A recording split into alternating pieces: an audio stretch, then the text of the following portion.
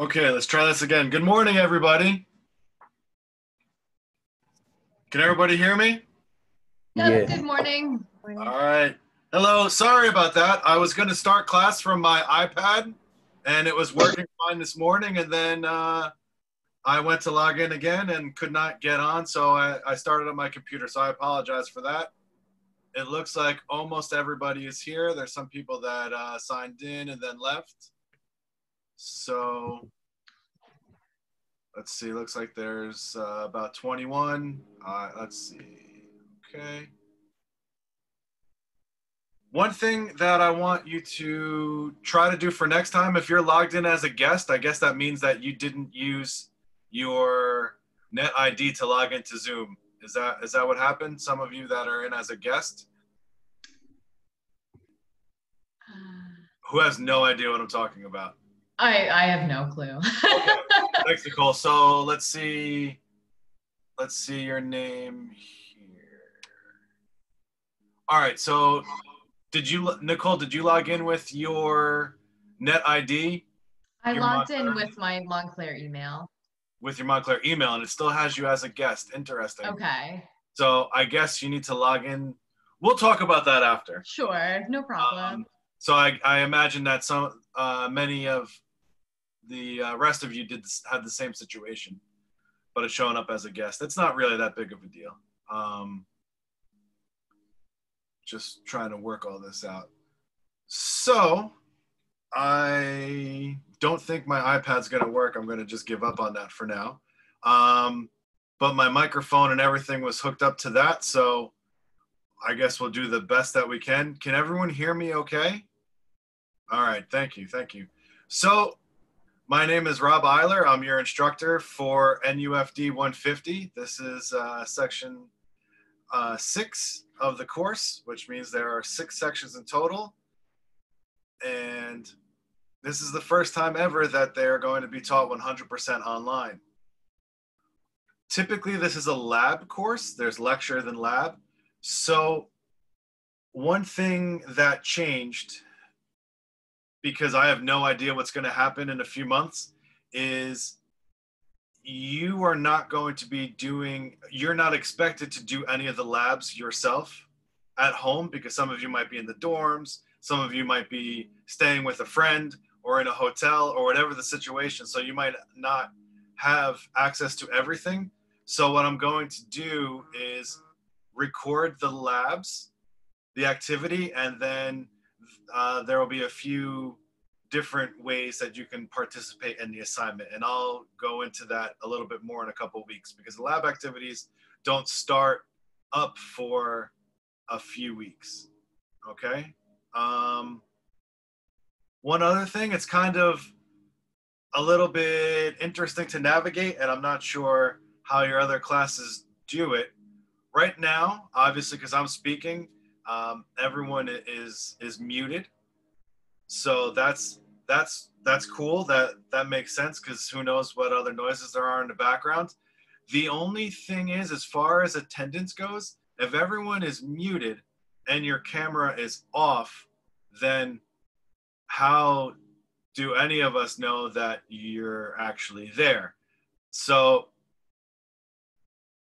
uh, probably moving forward, you probably want to have your your cameras on too, or at least for for a little bit, and then you could turn it back off.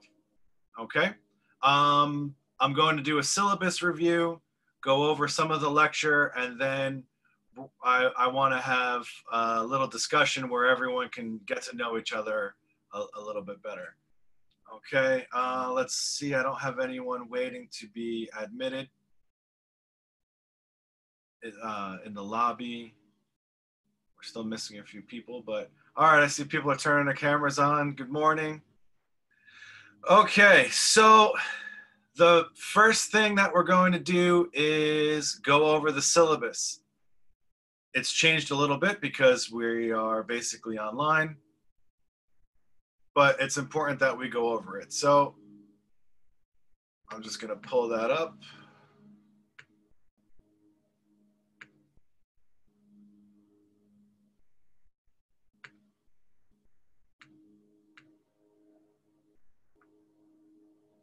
Okay, can everyone see my uh, see my screen? You can see see Chrome or Canvas.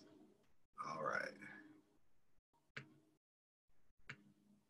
Just try to expand this view a little bit so I can see everybody. Again, thank you for your patience as I uh,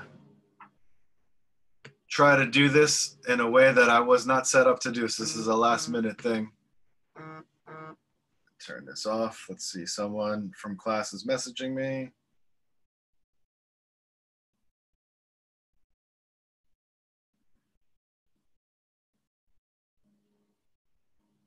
Okay, so I'm getting a whole lot of Zoom messages, but I think uh, I think we're okay.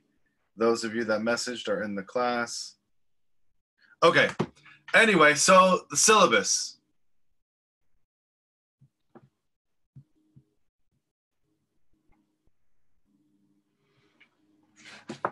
This is like a cruel joke right now. My computer is uh, failing me. Okay, everyone can still see Canvas, right? All right.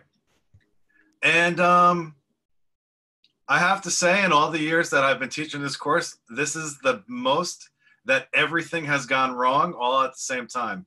Well, not everything. I mean, we're all still here, so uh, that's a good thing.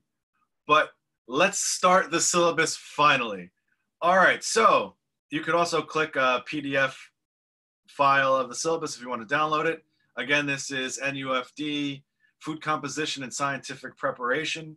It took me about three years of teaching the class to remember what the name is because it's such a long name. But basically, what we are going to learn about is food, like food composition, how the, the components of food come together, how the ingredients work, and how you can manipulate those ingredients and have different results. So some things in the lab demos are going to be baking bread with uh, all-purpose flour compared to uh, um, high gluten. So you can see how the texture changes. Or using liquid fat like a vegetable oil compared to a solid fat in like shortening in muffins to see how the texture changes. Or adding gums to change the texture. So th those types of, uh, those are some of the examples of the activities that we're going to do. Again, my name is Rob Iler. I am your instructor. And let's see, office hours are by appointment through Zoom. So last semester was the first time, or halfway through last semester was the first time that we had to switch to the to the virtual meetings. So I'm available. Basically, I try to, if you send me a message, I'll try to respond within the hour, definitely within 24 hours. So, not that everyone is, you're definitely not required to, to have separate meetings with me through Zoom, but the people that did ask for separate meetings to go over a paper or a question on their topic tended to have more success. So the time, and I encourage you to ask any questions. The only silly question, or uh, yeah, I'll, we'll stick with the word silly. The only silly question is one that you don't ask. So it's best to be upfront. It's best to ask questions if you want to review something just send me a message or an email and we could talk about it through email or message, a Canvas message. And if we need to, we'll have a, a quick Zoom meeting. Okay. Um, one thing to remember is when we look at the schedule and we see when the papers and assignments are due, if you want to have, so if the paper is due on a Monday morning and you request a Zoom meeting at 11 p.m. on Sunday, there's not a guarantee that you're going to have one. So as I'd say, at least a couple days before the assignments are due, you, uh, I'll be available. Maybe right before, but it's it's not a guarantee. Okay. Um, the schedule. So even though it's listed as part of the syllabus, it's subject to change. So you want to look at the due dates on your individual Canvas assignments. Is everyone familiar with Canvas? I, we're all muted, so I guess nod your head yes or shake your head no. Okay, very good. Thank you. So if you're not, or if you have questions about Canvas, of course, just let me know after class. Send me an email and we could go over it. But if you got to this point to join the Zoom meeting, you at least got your notifications, which were sent out through Canvas. So I think everyone is, is good to go. What I am going to say as far as the live class meetings, right now there are five scheduled, including this one. I'm not going to add any more. So if you have work or an appointment on a day that we don't have a, a scheduled class, I'm not going to change it. Okay? There's a chance that we may not actually meet for all of the scheduled live classes that are that are listed on the schedule. We'll see how how the format goes and how everyone's doing with the information in the rec- in the recorded lectures. So just to recap, I'm not going to add any surprise live days that are not already on the schedule in the syllabus. Everyone understand? Let's see the nods. Thank you very much. Okay. So this is now a interdisciplinary studies elective, which some of you may be taking the course for that. And all that that means is as we go through, we're going to talk about the the economics of some ingredients used, the economic, you know, economics, psychology, also uh, basically the what we can relate the concepts in this food science class to uh, it's basically limitless. You know there are so many different things. Here's some that are listed. Chemistry biology physics physiology. Again i said economics psychology and one that's not listed here is nutrition, which might sound funny that we're linking it to nutrition, but you want to remember that this is an introductory food science class. We're going to talk about nutrition a lot, but it, we're looking at foods not from a nutrition lens, it's through a food science lens. But that having that nutrition so close it's actually a di- different discipline, but we can kind of put them together frequently throughout the course. Again, Canvas is required. It's required to access course documents and related materials. So each week there's going to be your assignments. Well, there's going to be the module, which has all of all of the lecture material for today.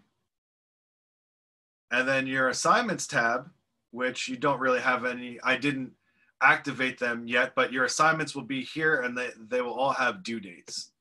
So you can just go to assignments and you'll know when everything is due. I'll go back to the syllabus here.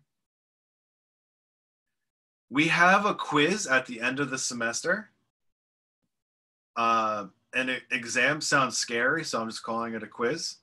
Um, it's basically well i'll tell you more about it uh, the access it's given through canvas and you'll ha- be given an access code through canvas. I'm not going to require you to use lockdown browser or anything like that.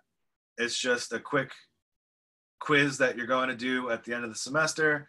There are no makeups offered. There's not really makeups offered for anything. Uh, Canvas is required to submit all assignments. So if there's an assignment, and basically if you send if you email me your paper, if I see that you emailed it to me, I'll respond and say upload it to Canvas. So if it's not uh, submitted through Canvas in the upload link, then you did not submit it. Okay? It's just the way that the tracking works. Um, so all assignments are submitted via the corresponding upload links in the assignment tab. So for each assignment, you'll have the tab. You just click upload and upload your file. Basically, you could use uh, DocX, PDF, PowerPoint, or JPEG for images. there's an issue when on the computer, especially on the iPad, it might not be so bad, uh, but Canvas has an issue with iPhones if you're set to the high efficiency mode. The HEIC files, if you ever looked at your camera settings for the iPhone users, if it's set to high efficiency and you upload a picture of something, I'm not going to be able to open it. So just remember, but you don't, you're not really submitting too many photos this semester because that was more for the labs. Just a, just a quick note there. Uh, let's see. Okay.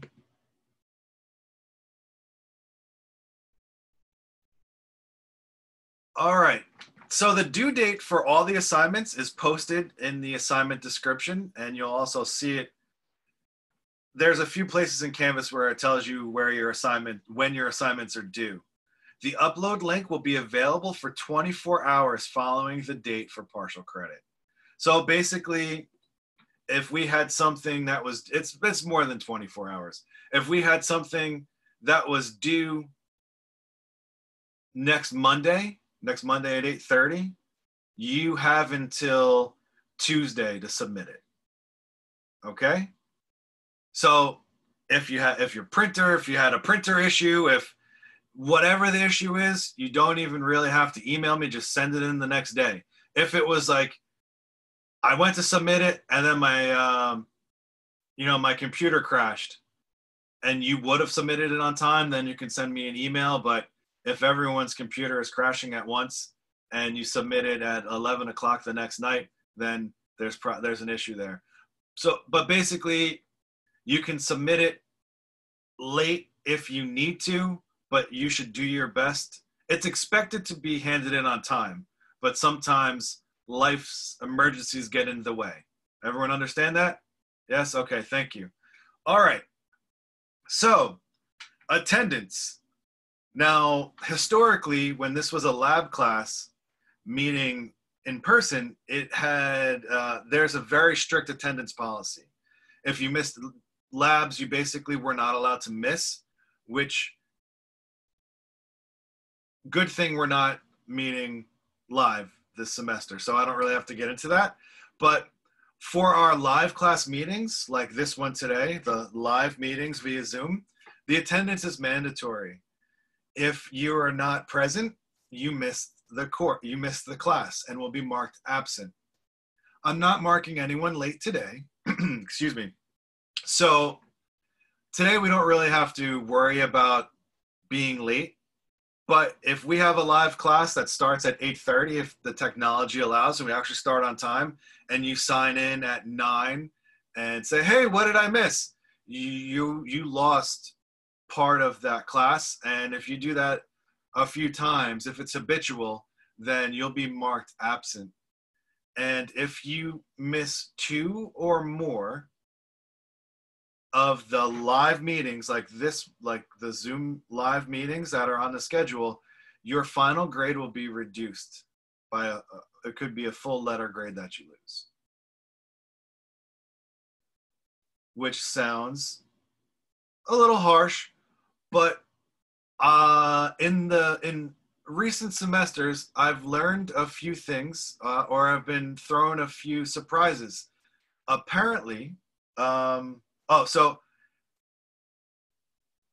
if your family goes on vacation, that's not considered an emergency. That uh, that's something that's happened to me twice in the last in the last year and a half.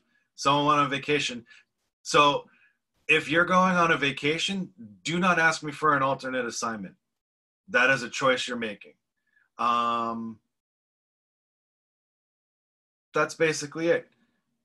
For the quiz, now a makeup may be requested in the event of extreme emergency situation. So essentially, I decide, or the department decides, or the dean of students decides what this what constitutes an extreme emergency situation if it again a vacation is not does not qualify for that of course if you if you go to the hospital or whatever it is then that obviously is appropriate for a makeup, but it's not just remember, it's not what you would necessarily what you would think of as an extreme emergency. It's what the university overall would assume would identify as an extreme emergency. So the request along with supporting documents needs to be submitted. So if, if it has to go up to the chair of the nutrition and food studies department or to the dean of students, whatever it is, if necessary, it, it will be. Um, so the vacation actually did go to the dean of students and it did not get approved, of course. Uh, supporting documents would be a physician's note, a police accident report, uh, if there's a, a you know a death certificate, those things you would supply to the department, not not to me. Hopefully, none of this uh, is needed for this semester. Typically, if you know that there's going to be a situation, you would notify me two days before, and Linda Salazar, she's our department administrator. And if there if something happens that day, you should try to let me know by 4 p.m. the following day. Okay? Course assignments. The quiz may include material from the PowerPoint presentations, the lecture, and laboratory activities. Guidance and rubrics for all assignments will be provided.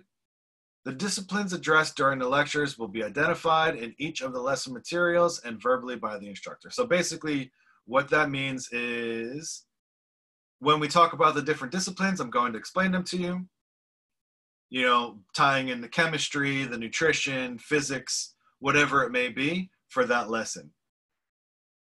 For every written assignment or every assignment, there will be a rubric that is included in the assignment tab. So you'll be able to look at that and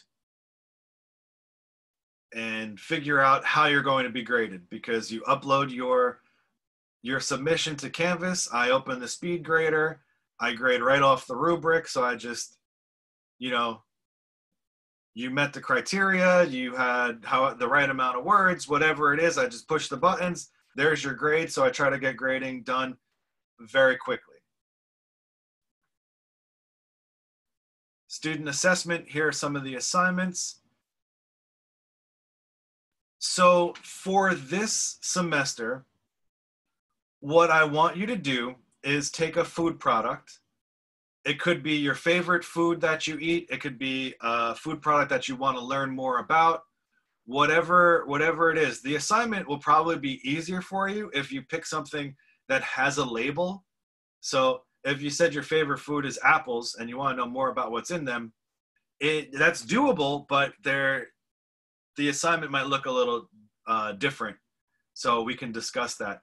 But the first part of that, and I'm going to give more detail in a further uh, recording, but the first part of that is basically you identify the food and then you talk about, you tell me what you know about it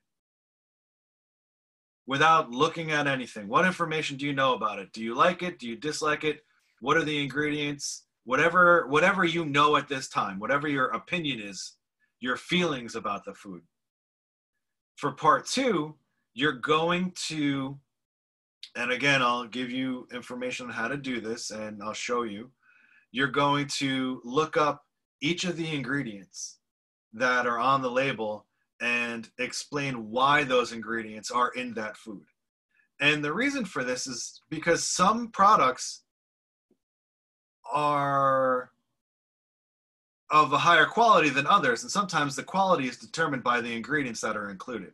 So, but that doesn't always, higher quality doesn't always mean that it's the most expensive. Sometimes there's an expensive product that is just marketing and hype, and when you look at the ingredients, there are things in there that you wouldn't really want to consume or that are there just to save money. Part three is just a submission of sources, research, you know, peer reviewed articles. Part four is basically putting all of what you found in the first three parts together. and that's a 1500 word paper. And I didn't mention this earlier, but the, the writing requirement comes from the fact that this is now an elective class. So once it became an elective, we had to have a 2000 written word writing evaluation. Next, we have the responses to the five labs. And then,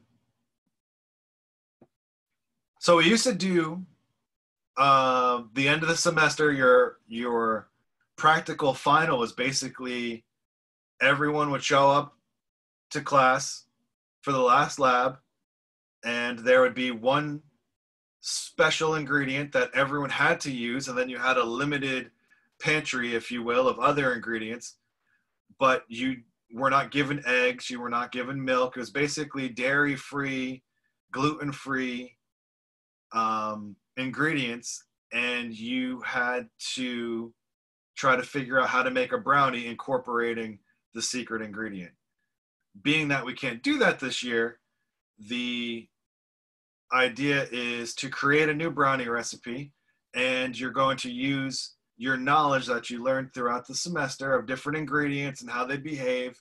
So, say if you're using a gluten free flour, you'd want to add xanthan gum to help with the texture.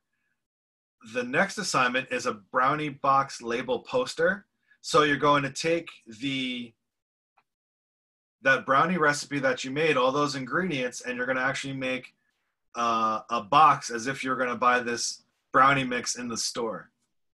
So you're going to learn uh, proper labeling and allergen declarations and what the nutrition facts panel should look like.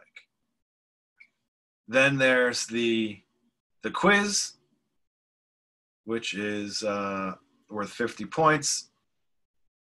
So there's 500 points total for the class, and you are graded on a percentage. So if you have 100 to 93%, then that's an A, and so on. It's let's say you have an 86. And at the end of the semester, when you look on Canvas, you realize that your your percentage is 86.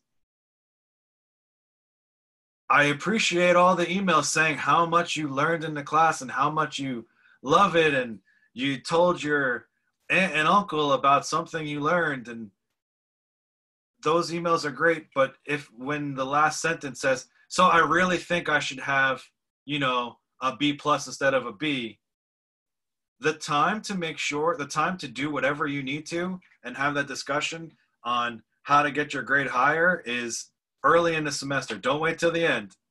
Because if you have an 86, that's a B, not a B plus. Okay? What I hope you're getting from this is that you should reach out and ask questions early on and as often as you need to and not wait till the end. Okay?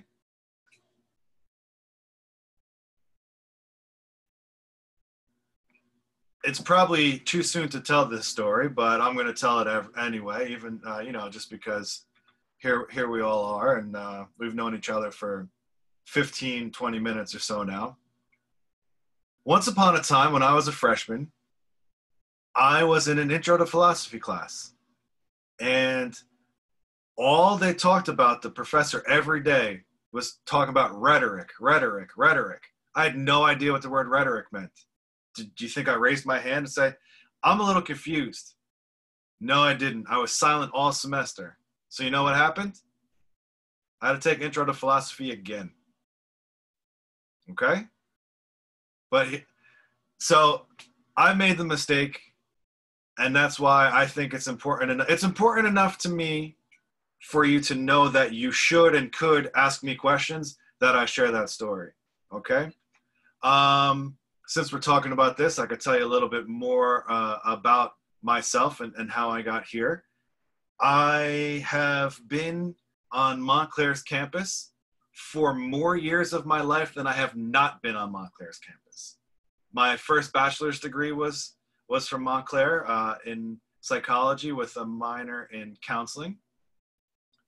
Then I was in grad school for a master's in teaching with a certification in phys ed and health and realized that I wanted to shift gears. So I had to withdraw from grad school to get to apply for a second bachelor's degree to become a registered dietitian. I was in that program in my second to last semester.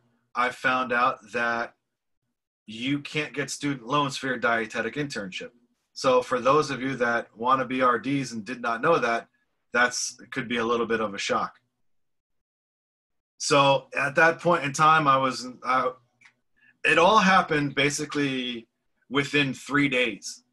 I found out that. Then later that day, I had uh, a guest speaker in one of my classes talk about uh, a certification that she got. And it was called a registered environmental health specialist to become a health inspector. And it sounded like the coolest thing in the world. And it was basically for those of you, has anyone taken ServSafe yet? Probably not, right? Maybe one or two, like the food safety class. I took it already. Uh, who who did? Who did? Diane. Okay, cool. So I was ta- thank you. I was taking that class, and it was a one credit class at Montclair. It was 240, and I didn't really need it anymore. And I tried to drop it, but I couldn't because it was too late. I worked full time all through school anyway. So I'm rambling now, but there, there's a point. I promise I'll get to it. Um, I couldn't get out of the class, but I realized that it was fun, and I learned a lot of different things. And when this uh, woman came to tell us about being an inspector, it sounded a lot like what ServSafe was, just applying it to every day. So after that, uh, so I, I came home that day. I applied for the Registered Environmental Health Specialist program at Rutgers. It's called uh, EPH. It's a summer long program, and then you do an internship and you take a state licensing exam.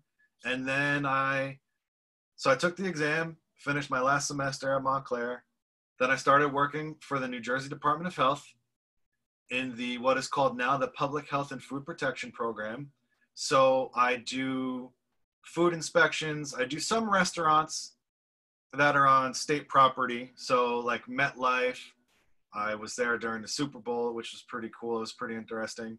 I do uh, wholesale, like factories, production. So one of the coolest places I, I ever was was in uh, the Mars plant in Hackettstown, which makes M&Ms. So if it's basically like, it's literally a chocolate factory. So it was pretty cool. Um, I'm starting now to do dairy inspections. So I'm going from the farms to where the cows are, watching them get milked and watching, you know, the haulers come and fill up the tank trucks, bring it to the plant, and then the milk is pasteurized. So it's a whole new process. Also, I'm involved with the shellfish program, so clams, oysters. Those are the predominant ones in New Jersey.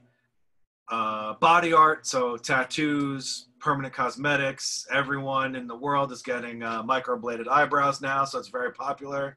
Uh, that's something I never thought that I would be involved in at all, but that's one of the things that, that I, I, I work on. Um, youth camps in the summertime, so a little bit of everything. So that's why it, when you at the top of the syllabus, I don't have RD after my name because I'm not a registered dietitian. I'm a registered environmental health specialist. Okay. Um, but I got there because of the classes that I took at Montclair. Many of the classes that you have taken already or you're about to take. So the possibilities of where you can go after your bachelor's degree in nutrition and food studies, you have a lot of options that you may not have even realized. Okay. Oh, and then I came back to Montclair and I got my master's, and that's why I'm allowed to teach. So I finished in May, and then that following September, I came back and I started teaching the course. So I've been here. I've had a lot of first days of school at Montclair State University. Let's get back to the schedule. So today is live via Zoom. Now, the textbook is not required. If you don't buy it, I don't care. the other sections might be required. They might uh, have the assigned reading. If you don't do any of these readings, it doesn't matter. If you do them, cool. Question, go ahead. Yeah, I'm sorry. Um, I see that it says Brown, but what if if you want to get the book, what specific book is it? Oh, I thought it was listed in the bookstore. It's uh I, I didn't see it. But okay, I'll send a link out. I, I used to be in the syllabus, but I took it out altogether so that people didn't think that they needed it. But I'll send everything to you. Thanks, I appreciate Yeah. it. Sorry about that. Um, so it loosely relates to the content for the week. Some of the PowerPoint slides that I use are from the textbook, but the quiz is going to be basically from the slides or the recordings. Basically, it's things that I've said and are written and presented to you in the recordings. That's what the quiz is going to be and the lab activities. Okay. So you'll have a pretty good idea of what the material is that you need to review throughout as we go throughout the semester. All right. Um, the due dates are already here. You know, part one of that what is what's in your food and why is due September 21st, and then so on. So the important dates to remember, well, they're all important, I guess. Um, November 2nd, we start with the lab activities. So this is uh, solid and liquid fat, so shortening of vegetable oil. And then I'm going to use three different types of flour to show the difference in texture, consistency, mouthfeel, which is going to be hard to interpret during uh, through a video, but I'll try my best. Then I'm going to make some brownies, some cheese, bake bread, and make butter. And then you'll have you'll have um, the activity that you need to respond to. I think it's going to be some type of video response. That's the plan for right now. So you'll notice that there's five activities, but only four weeks. Uh, the bread baking and the making butter are considered to be two separate activities. So on November 23rd, you're to have two different activities. But the big dates, the ones that you need to put on your calendar to make sure that you are available, especially during these times. November 30th is the quiz, which means that at 8:30 in the morning, you log in, you take your quiz, and when you're done, you're done for the day, you're for for the week, right? Because you are going to continue and hopefully by then finish your create a new brownie recipe assignment which is due on December 7th. And then on December 14th, you have the brownie box label poster. Does anybody have any questions about the schedule or the syllabus? Okay. Um, are these gonna be posted on like the assignment section, like, um, like say the first one like September 14, or are they just gonna be on the syllabus? No, no, no. They will be posted on the assignment section. All right. Yeah. So I'm. Um, that's why I said always look to the. This gives you the idea.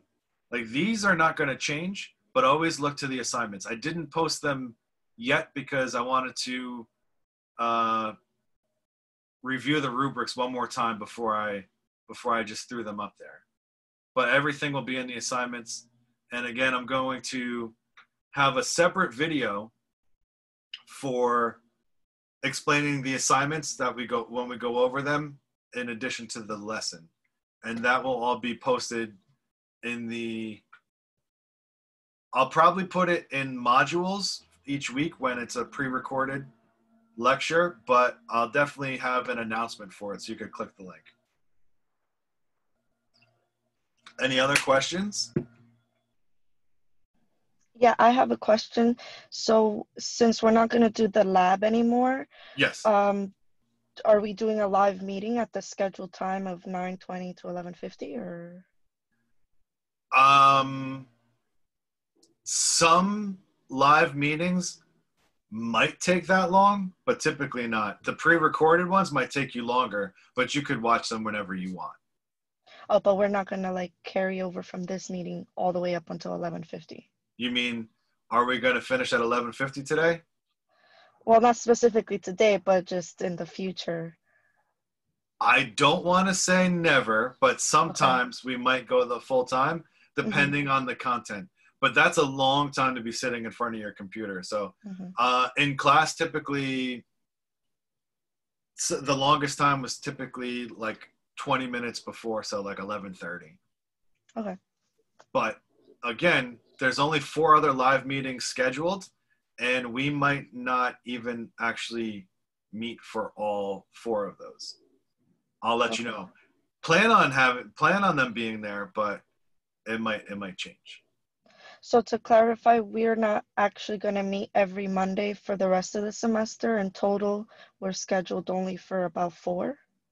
We're scheduled for four more. Yes, so Oh. I'll share the Okay. I'll, I'll share it again. Uh, let's see, let's see. So that's that's the one thing that I kind of skipped over. So sorry about Yeah, because that. that's new to me. I thought we were scheduled every single Monday. Uh, no. It, The requirement is. Can you see? Can you see Chrome? Yeah, I can see it. Okay. So the next live meeting is September 21st. And then after that, it's October 5th, October 12th, and then November 16th. Okay, got it. Thank you. That's it. So the um,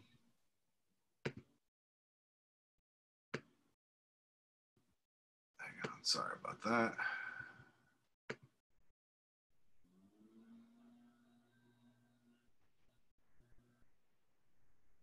All right, sorry. So just responding to someone.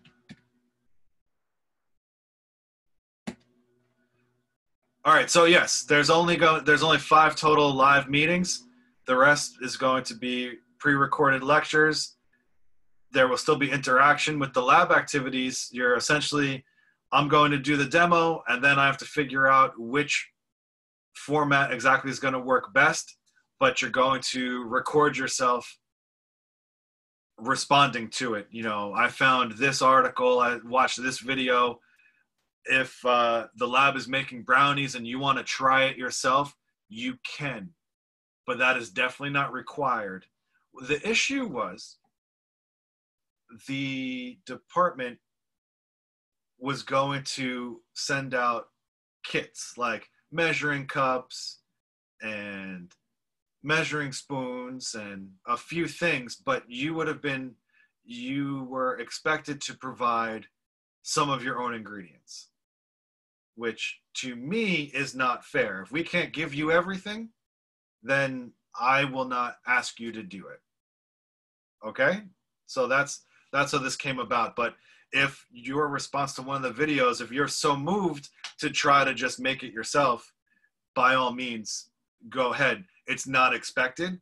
And um it's really just an option that if you really want to do it. But I, it's not like it's going to necessary it's not going to give you like extra credit or extra points if you do it. So if you don't do that or if you don't have the facilities to do that please don't feel like you're going to be graded negatively. Does everyone understand that? All right. So as long as you can contribute that you'll be graded uh, accordingly. All right. So let's see. Does anyone have any other questions about the syllabus? So everything just gonna be provided for the homework since we don't need a textbook. That's it. Like everything, you're gonna give us everything. Everything you need. Everything you need. So you don't need the textbook. Um, some of you sound disappointed about that, which is okay. Uh, but yeah, I, I will. I will upload the information about the textbook so that you can check it out if you want, but but you don't you don't need it. Um, so yeah, you'll have the material each week. Now, part of that and everything all together is basically part of the idea is to get you to realize, if you don't already, that you are responsible for your education. So, the question, a better question than what is this guy going to teach me, is what am I going to learn? Because that also gives you ownership in it. It's something that you're learning. So, if you're passionate about this, for some of you, this course is just three credits you need to get through. For others, you're going to find something it might be in the class or related to something or just in a discussion you had with someone else and your whole career is going to go in a different direction. Who knows? Um, and i totally just lost my train of thought. But uh, basically the things that you are like the ingredient project is just to take something that you consume every day or that you want to know more about, something you like or dislike, and find out as much as you can about it, to study as much as you can. Because as you progress and as you get out of college and you're in the workforce, every assignment you have is basically like the hardest final and longest paper you've ever done. There are no there are no B's and C's. It's an A, as in you get to keep your job, or you have to look for another job. So find as you do all of your studies and all of your other and all of your classes, what are you reading articles about? What are you talking to your friends about? What social media pages are you following more to you know do you care what other people are looking at do you want to so that you can read more and learn more information about certain diets or nutrition trends or whatever it is the things that you read and want to learn more about in your free time, hopefully that's the career path you're going in. Okay? Um let's see. Let's see.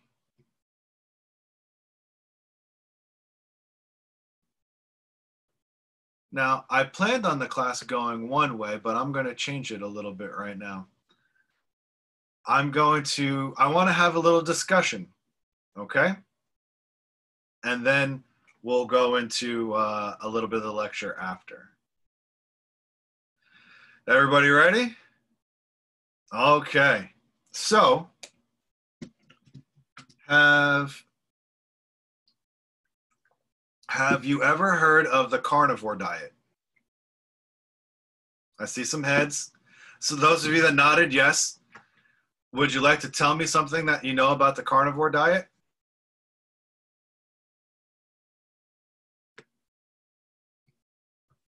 Anybody? It's Um, mostly meat and it's low in carb. All right. So, who is that? Sarah? Yeah. Okay. So, mostly meat, low in carbohydrates. Who else? Um, I nodded no, but I'm just guessing it's like purely meat.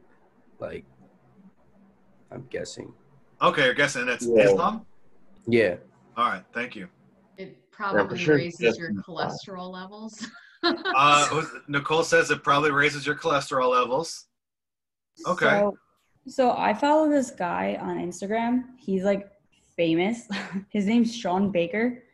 Um, he has been doing the carnivore diet for like years, and he's been like the healthiest he's been like his whole entire life on this diet. So some people get like, I guess like misconstrued. I don't know. I think it's like it depends on like your body and what your body needs. Like everyone's bodies are different. Your system's different, but um like even my friend he went to go on it and he was confused because he didn't he, like like uh, nicole just said like it raises your cholesterol your, your, your cholesterol but his didn't raise like it's different i guess with everybody but this guy has been on it for the longest time he's pretty ripped too because he like really works out like let me show you guys i'll show you guys Okay. he's And like He probably pretty does it in or Gianna? moderation. Gianna, yeah. Gianna, He um I like follow I follow like his um like his schedule and everything, like what he does, what he eats, everything. Like he eats meat for breakfast. Like I don't know how he does that. Like I would Hmm. never be able to do that. But I don't know if you guys can see, but he's in really good shape. And uh his body like his health is 100%. Like it's crazy, but I could see how people could think that eating meat all the time is bad for you because red meat they say is like not good for you to eat it all the time but he does. So I don't know. Okay. So thank you for sharing that, uh, Gianna. So basically, uh, it's Dr. Baker, right? Looks shredded, but his blood levels, they don't really share too much of the. He does he actually share blood results? I don't think he does. But if he does, are they as important as we think? But a sample size of one does not equal the greatest thing in the world. But it looks like he's done this for years and he's not dead. So, for those of you that have never heard of this before, do you have more questions? Any thoughts? Or So anyone? no vegetables, nothing. What's that? So no vegetables. That, that's it. Just meat and and I like water. pre- in it? It's predominantly saying, I'm going to eat only meat. Um, question: Is this like, I mean, besides uh the ripped person that she had just shown, like, do they eat like meat in moderation, or just like do not Nope. weigh it? They just like they just cook it and then straight eat it. Uh, well, they do cook it, but it's just, I think, like sometimes four to five pounds of steak a day. Wow. Shit. So that definitely, all right. So, I have a question. of course, and it's Emily. Yes. Hello. All right. So, is this the another name for the keto diet, or is this different? It is different than the keto diet. Okay. Yes, yes. So the ketogenic diet is basically a fat, predominantly fat diet, traditionally like Right. It's a lot of protein. five percent Well, uh, ketogenic, a traditional ketogenic diet does not have a lot of protein. It's predominantly fat with like Oh, okay. fifteen percent of protein. Um, but through the years, there has been what? So when, I mean, there are people that you'll meet that say they're on a keto diet, but they're eating, um, you know, lentils and beans. It's like, well, Right. you're not, you're not, you can't be. I mean, if you were like a professional athlete, you could probably still be in ketosis, but no. So anyway, the ketogenic diet is eating to be in ketosis. The Right. carnivore diet is just straight up, I'm going to eat meat only.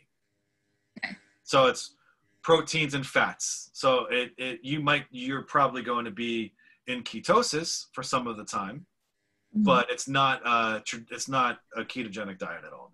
No. I have a question. Of course, Joe. Um, Um, do people use this diet to like lose weight, or like what what is this like benefiting for? Like, what's what's the benefit of going on a carnivore diet rather than like the other diets that are out there? Um, well, does someone else want to answer that? Because I'm not saying that it's good or bad. I just think we should talk about it. I'm thinking it's for someone that's trying to go on a bulk, on a caloric surplus, trying to achieve like muscle mass. That's what I was thinking. Interesting. Isn't the isn't the ketogenic diet tradi- well created for people who have seizures to um not like to help with the conduction of electrical impulses in their body uh since your nerve endings need to have like fat that's why it's so high in fat and then now people are just kind of you know twisting it to themselves but it's really going to do some serious damage to your liver because you shouldn't really be doing it long term well, and, and your name is Annie? Yeah, it's Annie. It's spelled like the word, but it's pronounced like Annie.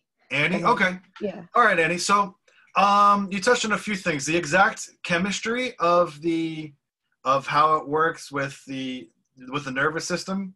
That could be something that we'll talk about in more detail uh, for later on in, in the semester, if that's something that if, if everyone's interested in.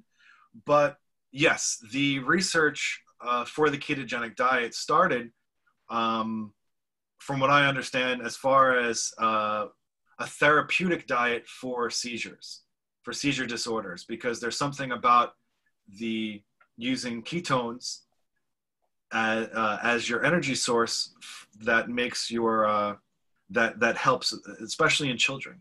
So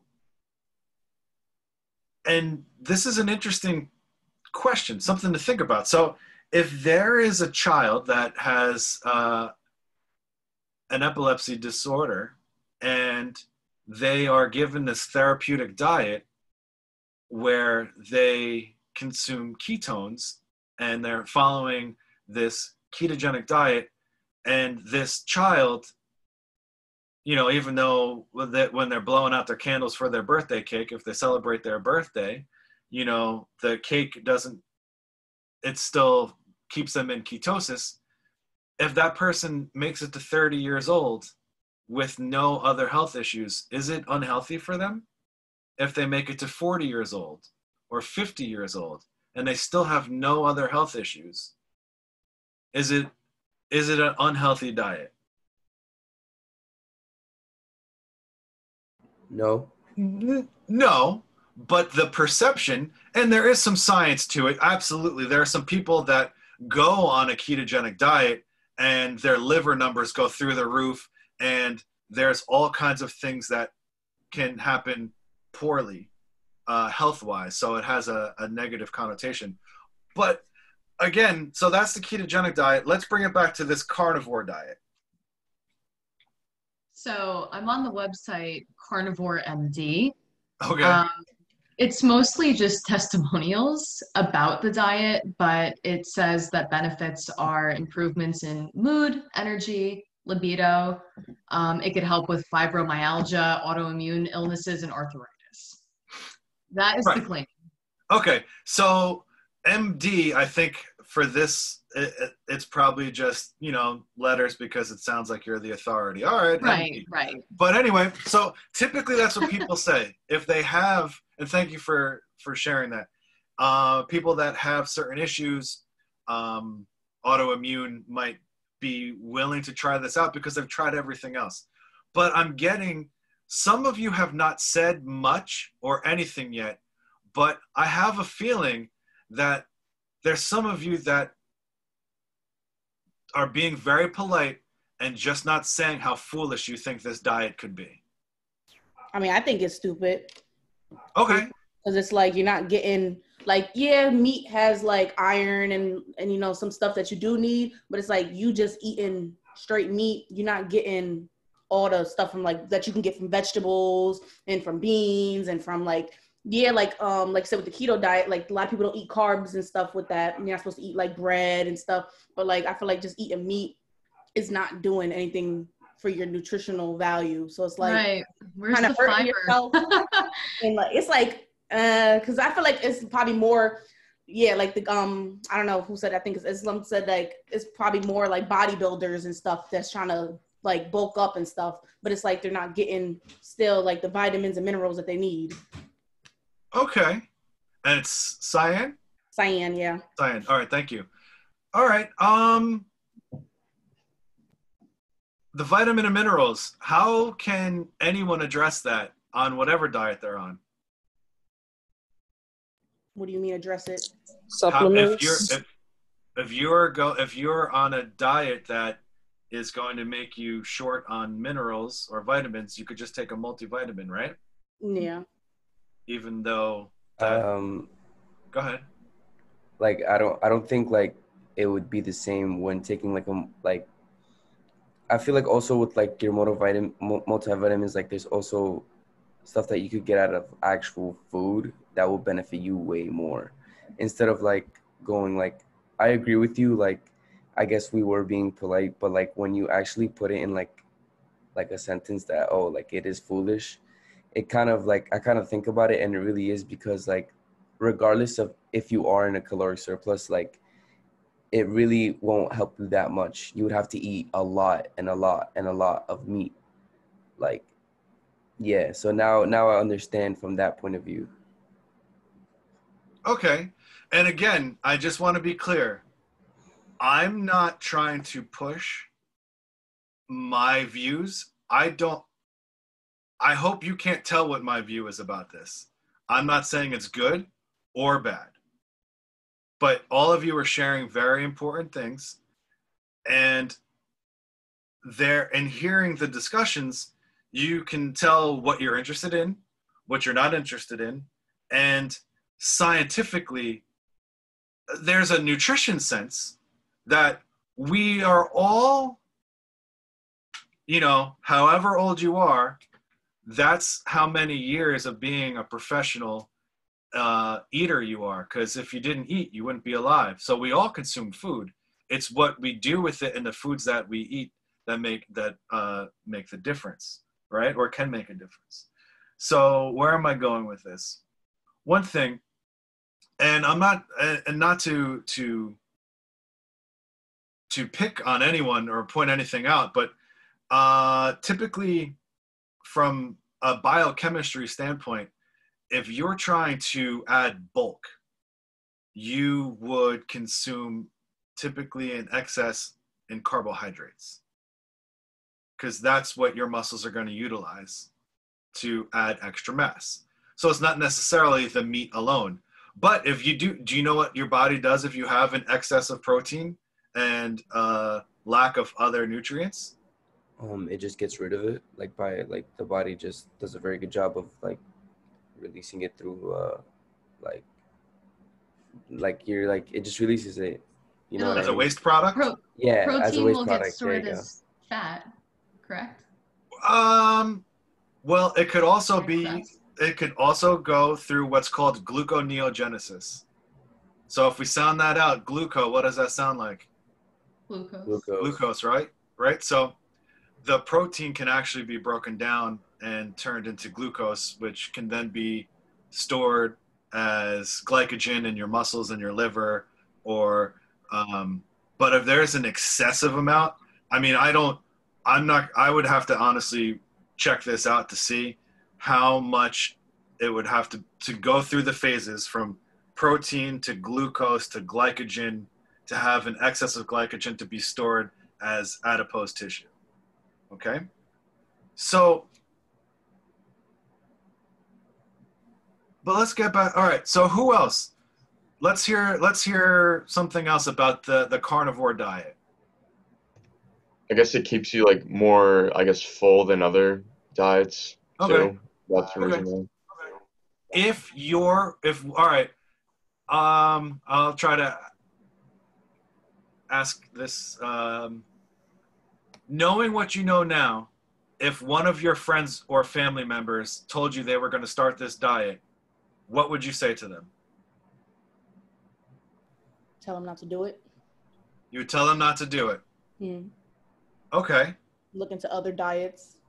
other diets Yeah, because meat is like also expensive on the other hand. Like you're not gonna buy a pound of like a skirt steak for like, or like a skirt steak that comes with two pieces for like fifteen dollars. Like, it's also Okay. about like expense as well. Like, I'm not gonna put you on a diet that like you're gonna have to put some money into it. While I could just put you on, you know, like a simple diet, like you know, just eat in a caloric deficit and just like okay moderation. And if you're craving something. okay anyone I'd else I'd also tell them to like put more research into it and see if that's like a diet that they would uh, actually consider doing. Okay Be more educated on it.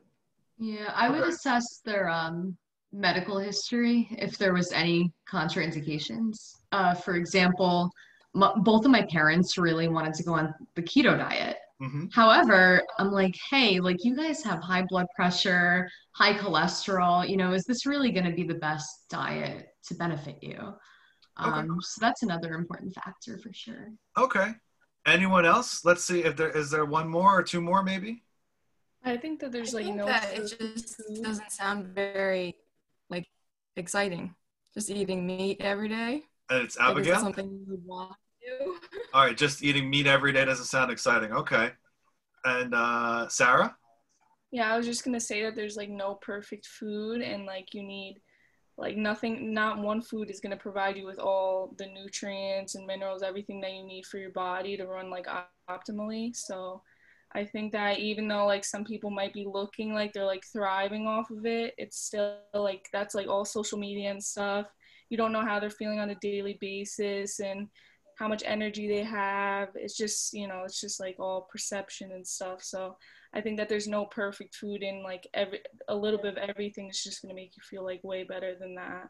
And Okay, you're so gonna a be little bit of craving everything. a lot more foods. Like obviously your body runs off carbs like better than other like fat protein. So I think that you'd be craving that.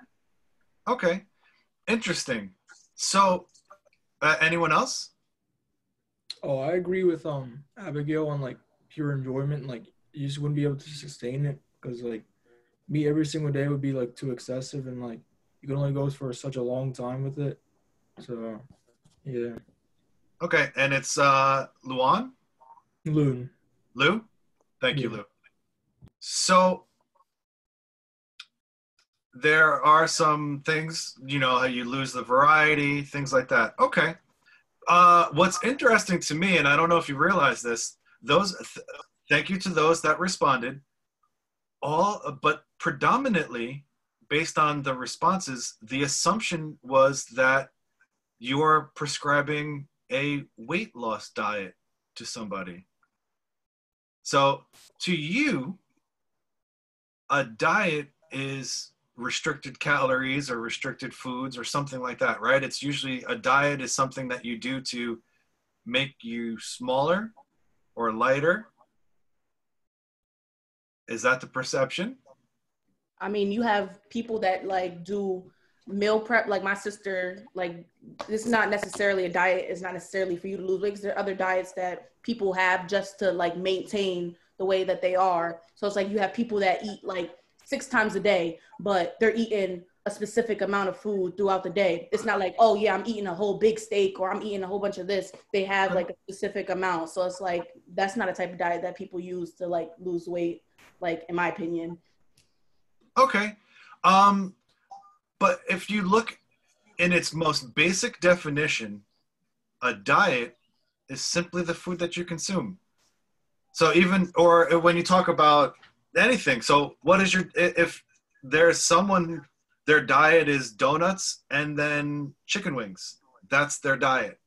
Like if you saw that person at the zoo, it would say their name and then they feed on you know, however many donuts and however many chicken wings per day. Not that people should be in zoos, but you understand, like when we were kids and learned about like tigers and bears, it's like, well, bears eat this, tigers eat this. So a diet is simply what people consume, but you can make manipulations to the diet to do different things, whether it's lose mass, add mass, you know, um, if you want to have explosive, quick power if you want to be able to run you know ultra marathons things like that. So a lot of what we know or think we know or have been conditioned to tell people doesn't really apply to everybody. But i want to get to this. So overall some of you say like the carnivore diet could be good for some but if you knew someone that wanted to try it, you would, knowing what you know now, you would tell them not to do it. And then Phyllis um, asked, How do you get proper nutrition without fruit or vegetables? So I would imagine, Phyllis, that you're talking about vitamins and minerals. If you wanna, if you wanna, uh, Yeah, I was like, I was talking about the carnivore diet. Like, how is Yes. that? How is that like? How can you maintain that? Okay. I don't ha- again, I'm not promoting this.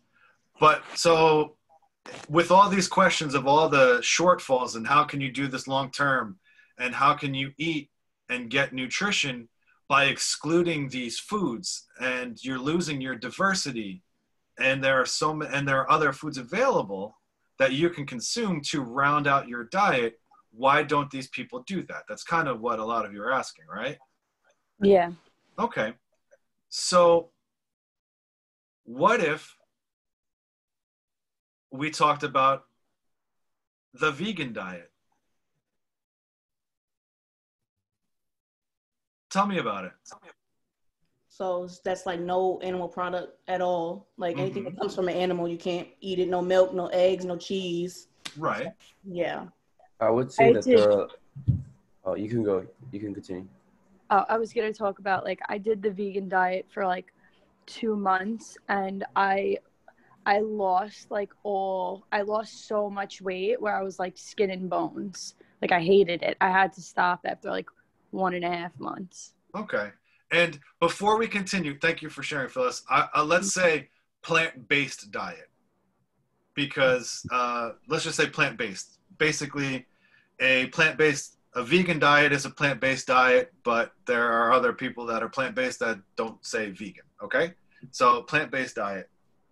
I'm on a plant-based diet Okay. for over a decade now. Um, Okay. I feel great. Um, I do incorporate eggs sometimes, so not not vegan, but mostly vegetarian. Okay. Um, would I say it's for everyone? Absolutely not. Okay.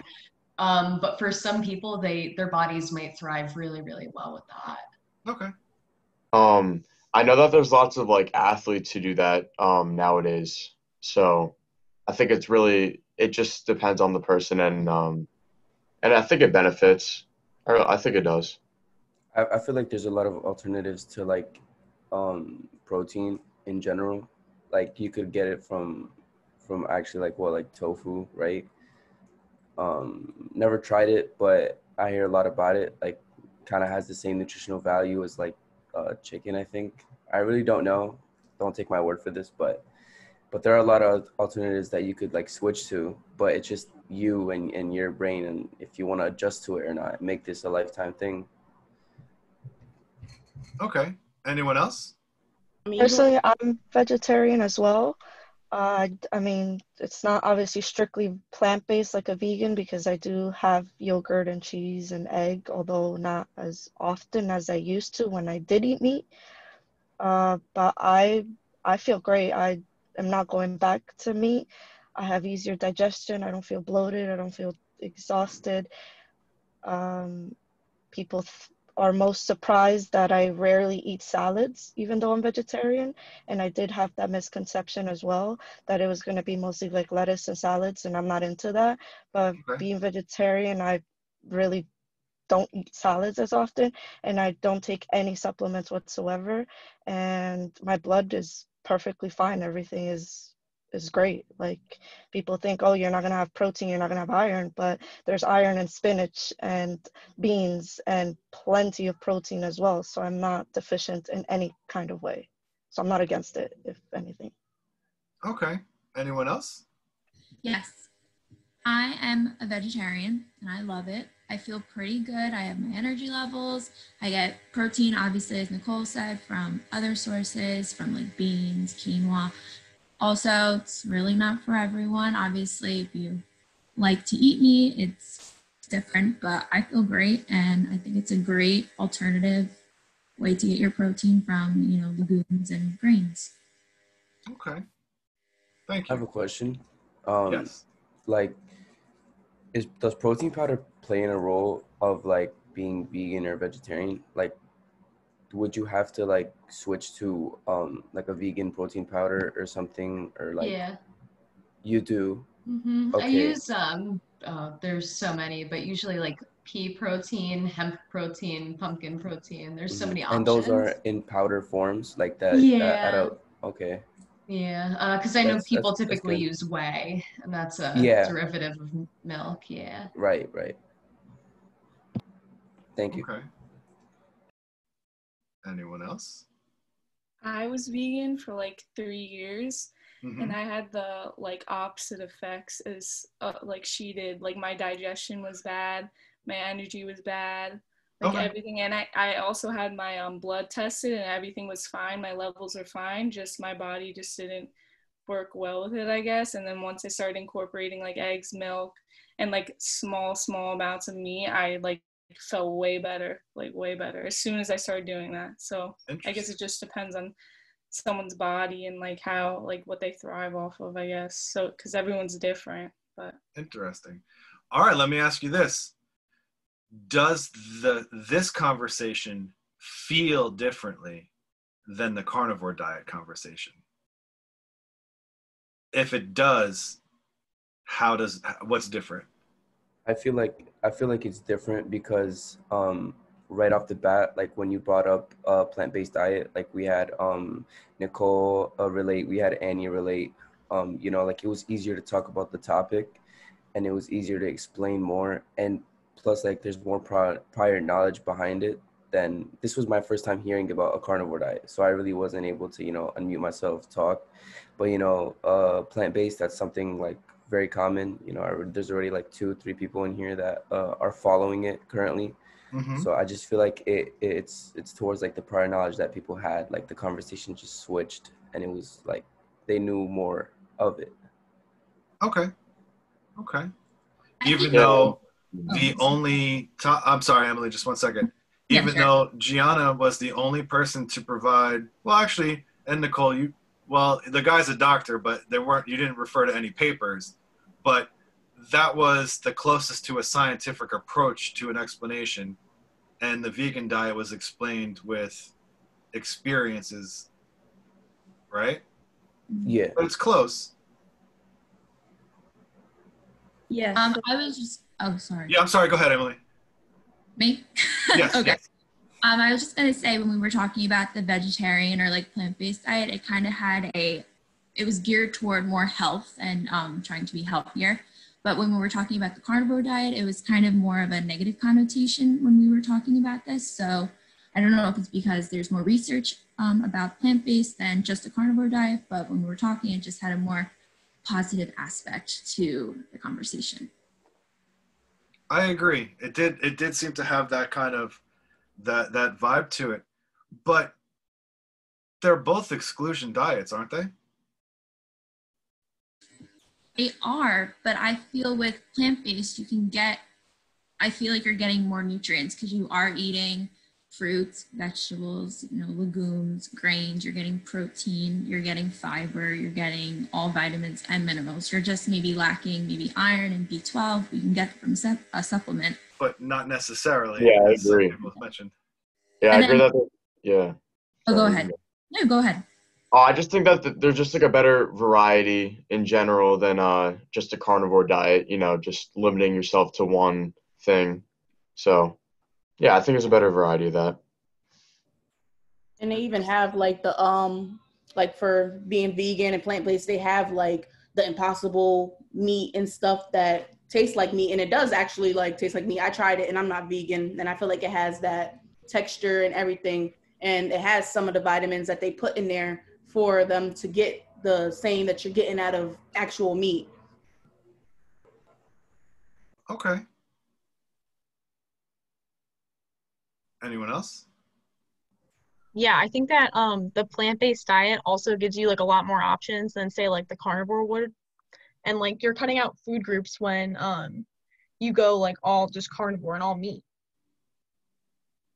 But aren't you missing out on meat and the energy density that you get from caloric density? Like, I I'm just playing uh, playing both sides here. So, if you and not the traditional like where you're going to get your protein from if you're a vegetarian, but uh, meat has a certain value, right? Like calorically, you only have to eat a little bit to get a lot out of it. So, and there are also people that do could not care less about variety. There are people in this world that have a goal and as long as it's not dangerous to the you know i mean there's eating disorders and i'm not getting into that. I'm saying like there's you know there are people if you're an athlete or whatever it may be or if you're trying to do something you'll eat the same thing every day and it doesn't matter. But that doesn't mean that you should do that. So i guess what I hope that you realize is that for as much as you know about something or how you feel about something, there's someone that probably knows nothing or more than you about uh, the same topic or a different topic and has feelings just as strong for the opposite. If one of you was on the carnivore diet, do I think you would have stepped up and said, Yeah, I tried it, I like it? Probably not right now. It's like a secret almost because it just seems so it seems it go it definitely goes against what's considered the norm right? Like you don't want to tell your friends whereas uh, plant-based seems to be more promoted and even on campus do they still have well when we were all on campus um, meatless mondays that was a thing right? So to promote options to show you that you don't need meat but what would happen if you know in the student center it was meatless mondays but somewhere else it was you know just if taco tuesday was just all meat with no just just meat like carnivore day? People do you think the campus overall would react fondly to that? Or would people just say where's my vegetables? and why are we promoting this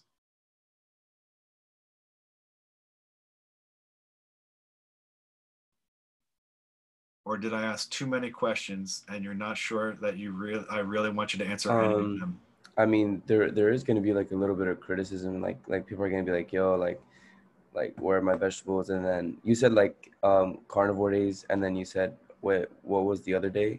oh no it's like there's meatless monday on campus Oh, that's thing meatless one. Oh, that. Oh, all right. I didn't know that. yeah yeah Um, and then there's and then you're saying like, what if they had like a carnivore day? uh-huh Um, I, I really don't think I, I kind of don't think anybody would really react that crazy if there already is like a meatless one, like a meatless day. You know what I mean?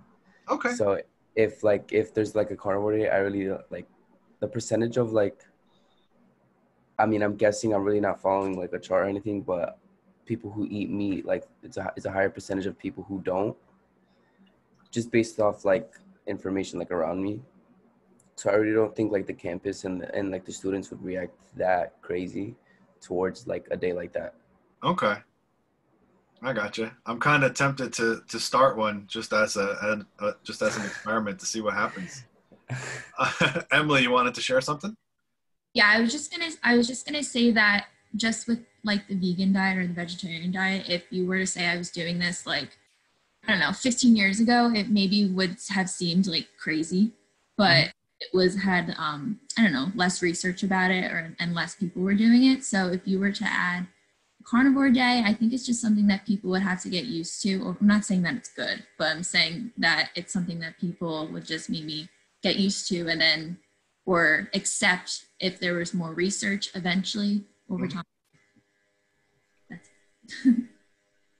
I feel like I feel like the the carnivore diet is like up and coming, just like Mhm. the vegetarian diet or like the vegan diet was like years ago. So I feel like people don't know as much about it now because like we have statistics and we have facts and we have data and stuff, but like I feel like it's not like out there yet. Like I feel like also growing up, like I grew up eating meat, but I feel like because like my family on one side, like my grandpa's side, like we have like they have like heart problems. Like a lot of them have like heart diseases. So they always said that eating a lot of red meat was not good for you. Was not good for your arteries. Was not good for your heart. So like even though I knew that, like I still ate it when I was younger, but like st- still, like I feel like people kind of stray away from it because there's kind of like a like a negative connotation about it. Like I still eat meat, but I don't eat it as much as I used to because like I eat more plant based stuff now because I had like a pro- I had like a thyroid problem months ago and I lost like 40 pounds based off of the plant based diet. Like I was eating more plant based stuff, but I was also throwing meat in there. But that's that's why I knew that doctor because I was trying to figure out do I do do I do keto? Do I do carnivore diet? Like do I do vegan? Like what do I do? But the plant based was definitely more common, so that's what I knew. Like that's what I I went more towards. I gravitated towards it. You know what I mean? Okay. Okay. Anyone else?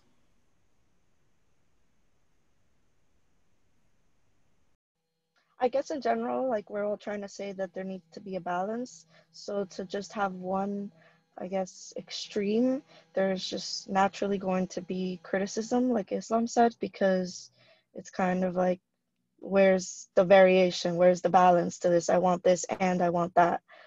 Um, although I guess you're gonna find the people who are plant-based or who are just liking meat, they're gonna be perfectly fine because that's more of the spectrum end that they're gravitating towards regardless. But there's just if you have balance, then in general people are gonna be more happy. True, true. That could work for most people. Um, the th- interesting thing about heart disease and saturated fats and things like that, like obviously, the research is showing or has shown, and it's been around for a long time. So it's not, it's, I wouldn't say it's made up, but it is, there are people that have consumed things that you would consider to be questionable for large portions of their life and are still perfectly fine, you know? Um, I guess an example could be uh, like mm, you know if someone doesn't have food if you can't afford food and all you eat is like butter because it's so calorically dense and that's all that you consume and you're still at a calorie deficit are you going to develop heart disease? I mean you might but you probably won't. But no one will but the common perception is that that's insane and that you're going to die because you're eating all that butter right? And i wouldn't recommend a diet that's only butter anyway. But the things to remember is that no matter what you're eating it's the it's the chemistry of it the biochemistry what's happening in your body what's happening in your blood. Your blood tells the story. How you feel also tells the story you know? That's that's the difference. So uh, who in the class is in this class with hopes to one be one day be a registered dietitian? Me. all right so i see a lot of hands up. Okay you don't have to take this advice it could go in one ear out the other but based on what i've seen in my years of doing this to be the best at understanding nutrition, you want to understand as much as you can about biochemistry. What happens to the foods when they're in your body? If you're talking to someone and they want to try something, whatever the diet is, what, you know, they want to try these foods or not these foods, what do they need? How many, how many vitamins and minerals does that person need? How many grams of protein and fat and carbohydrates and at which time does that person that you're dealing with your client need to keep them healthy the better you are with the mechanics of understanding that i think the better off you're going to be as a registered dietitian now this is coming from someone that studied it but i didn't take medical nutrition therapy that was the one class i didn't take and i didn't go for my uh, dietetic internship so i don't claim to be a diet expert. I actually am uh, relieved that I can talk about it without being in in it. You know, just from from the side that I'm on, and I, I, I think it makes a big difference.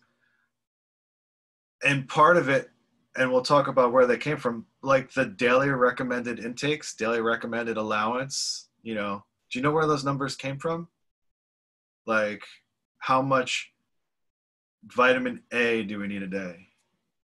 How many grams of protein should we have a day? How many carbohydrates should we have in a day?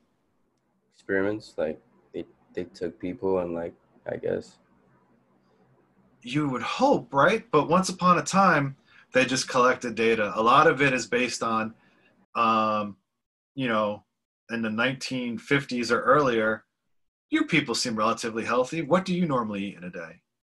And again, don't take my word for it. Research this, look into it. Okay?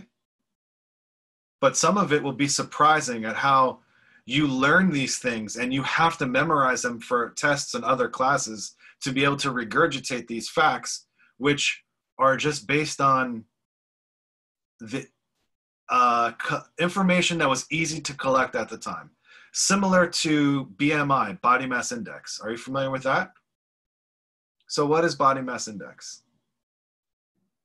It's your like muscle mass to fat ratio, I believe, like your weight to height also and I don't know how to Right, so I just I think- calculate all that. Essentially what you're trying to say is it tells you how much body fat you have or how like if you're obese, normal weight, overweight, underweight, right?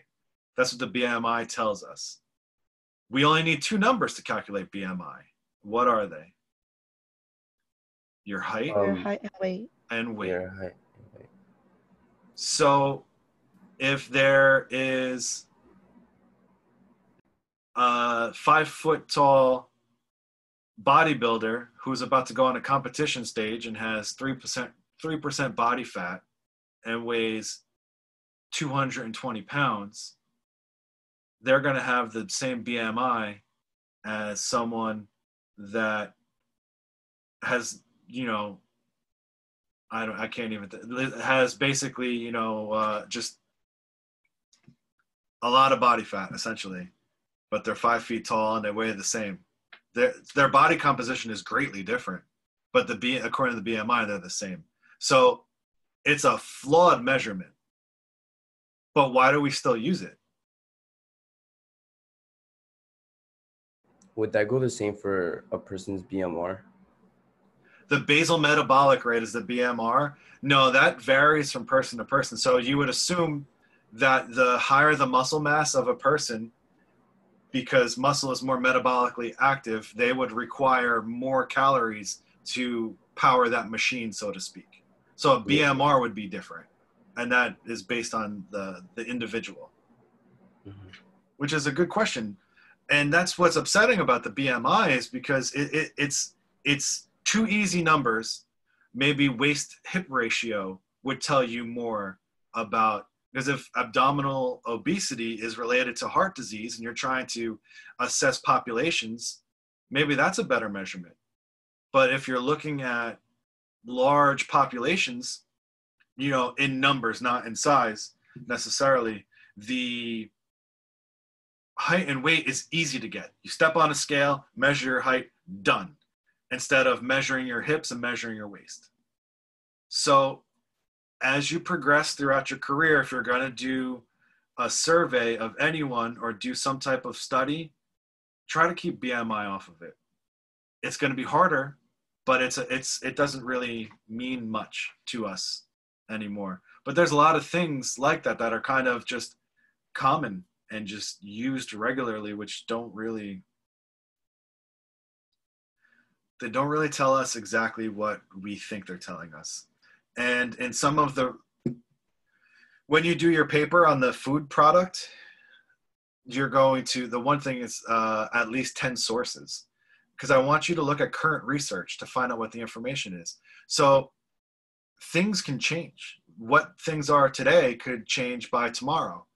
In the next five years we're you're probably going to be learning more about or the articles you read about and go to conferences about are going to be on gut health you know the gut microbiome.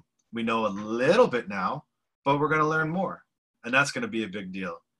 Um, will the carnivore diet be debunked? Who knows? Will there be more information?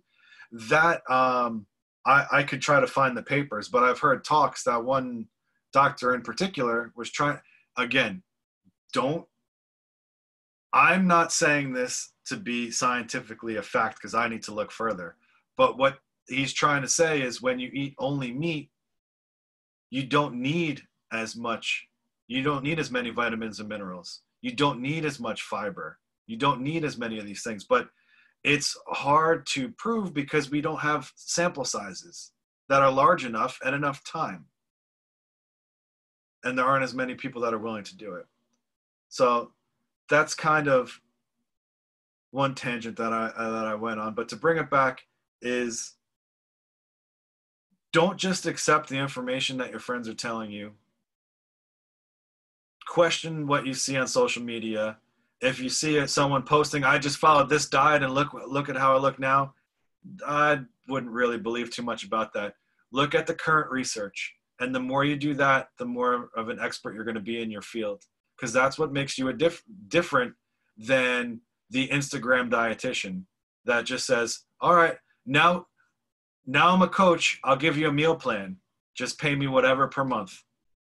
And that person has zero education. Do you know what it takes to be to consider yourself a nutritionist? Compared to so you know what it takes to be a registered dietitian. You need a degree, which now you need a master's degree, and you need to complete the internship and you need to complete the exam, right? That's a lot of school. Do you know what it takes to become a nutritionist? What? Do you want to share, Ashley? Doesn't it like you don't have to do anything? You just like call yourself one, I think. Yes, you just need to be able to spell nutritionist or even just put in a spell check. That's it. If you want to be a nutritionist, oh, I'm a nutritionist now. It doesn't require anything. So the people that speak the loudest and are, uh, you know, well perceived don't always know what they're talking about. So there's a lot of research and a lot of information that goes into separating you from from the rest. Um, one of the things to get back to it that I want to talk about uh, throughout the semester is the chemical processes that actually happen. So just to make sure you have a good basis of that aspect. So no matter what the food is that you're consuming, it's what's happening in your body at that time. Okay. Uh, let's see. Should we take a five minute break or just go right through? We have about another half hour. Right through. All right, if you need to, actually, you know what?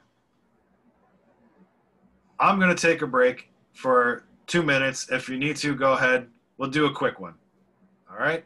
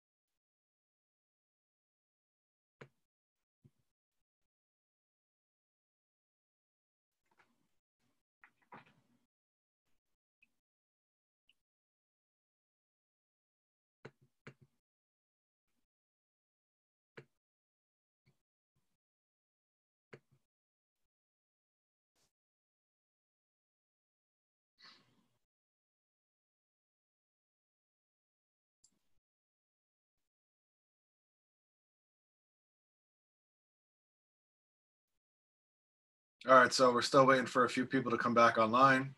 I'll give it another minute.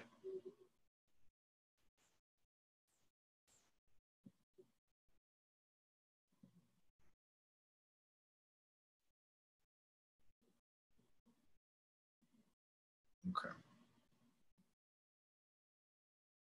So we talked a lot about food choices and a little bit about how the choices came to be. We all know everybody eats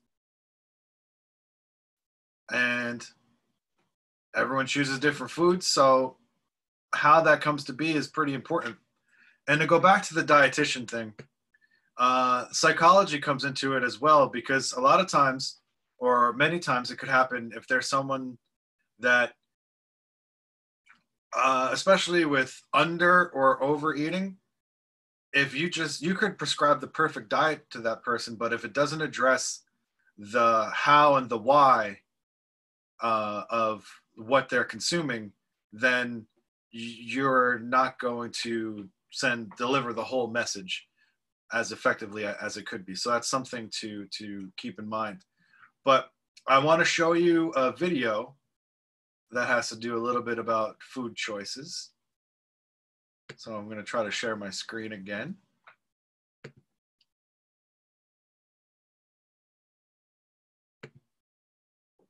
So you should all see Chrome now, right? Yes? Okay, very good. Thank you. So here's the module. This is the homepage. So modules, it's August 31st. I'm going to play this video clip. So all this should be, it's posted live in Canvas right now. Uh, for this next experiment, food expert Eric Trinidad has whipped up several batches of brownies. Free brownies here. To see what will or won't catch people's eye. Can I interest you in some brownies? It's a new recipe I'm trying. All right. Eric is telling people he's perfecting a new brownie mix. That was cute. For a bake. How's the volume? Can everyone hear the video okay? Yes? Okay, thank you. Bakery he's opened in the area. Take your pick. And even though these brownies come in lots of different shapes, from a traditional square to a foot, or even one that looks like a hockey puck, all of them are made from the same ingredients. Except these brownies, which are made with premium chocolate for an even richer taste. Will they be able to see past the outer differences and give the alternative brownies a try? Let's see how people react to Eric's tasty creations. I think I'm gonna go with this one. I'm gonna go number one, traditional. Go for it. Now, is there a reason why you chose the particular shapes that you chose? Well, this one was shaped like a fleur de lis, so it just Uh-huh. looks really cute. Right. The rest of them don't look like brownies. Can I interest you in the number two? That's so not gonna happen. Go ahead, try it. No. I'm giving away free samples of my new recipe. What is that? That is a brownie like the rest of them. Oh, that is not a brownie. That's gross. What about you at home? Are you turned off by the shape of this brownie? No one's gonna want that. Or do you think they're being a little dramatic? That is just wrong. After all, it's just a brownie. So why are people willing to eat the ones shaped like flowers, or hockey pucks, or even a foot? Yet they refuse to try this one, even after we told them it's made from premium chocolate. What goes through your head when I offer you this one? I know it's food, but my brain is saying, don't eat that. And that's the point. Almost everyone got hung up on the shape of the brownies, except for this brave soul, who threw caution to the wind. And you're gonna kiss me with that mouth? Mm-hmm. That was really good. Obviously, that was a pretty.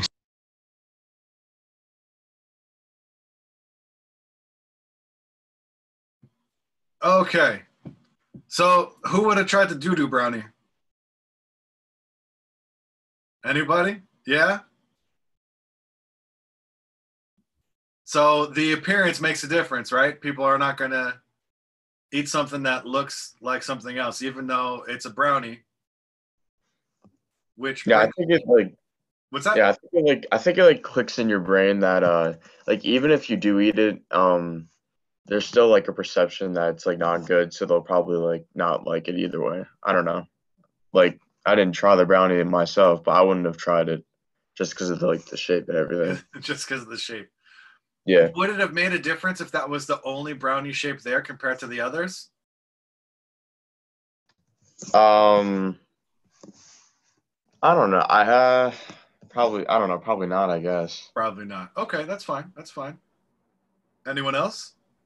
I think it would. Yeah. Yeah, because like he showed four different like shapes, but if he mm-hmm. was just to show that one shape and he would say like this is a brownie, you know what I mean? And he'll be like this is a brownie, and that would be the only shape. I think they would try it because that's the only thing there, and it's a free sample. There you go. So- okay, so they're Yeah, Sorry, like he offered them at the beginning, like it's a free sample, but four different kinds. Right now, you're letting them choose what's free, like which which are the free samples. But if you just told them that this is a free sample and this is the only brownie you get, they'll they they'll definitely take it. That's just okay. Interesting. Interesting. Yeah, I agree with Islam because like people eat hot dogs and that's a weird shape. So what's the difference between this being a weird shape too?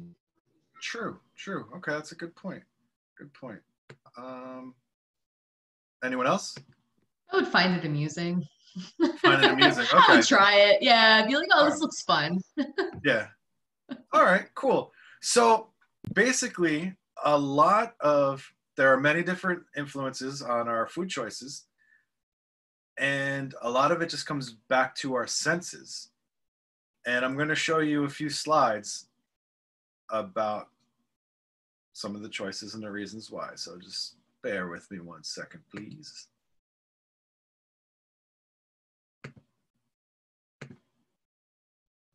Okay, so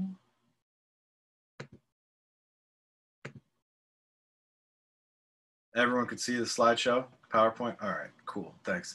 I'm only going to ask that every single time because I'm paranoid now that no no one can see it. But uh, all right, so of all the choices we can make, food ti food scientists want to know why people eat, what people eat, and what food characteristics are the most uh, enticing to customers. So, why people eat is kind of a silly question, right? Because at its most basic reason, like everyone knows why we eat, but it's more nuanced than that. Uh, do you know anyone that eats when they're stressed? Do you know anyone that won't eat when they're stressed? Do you know someone that eats when they're bored?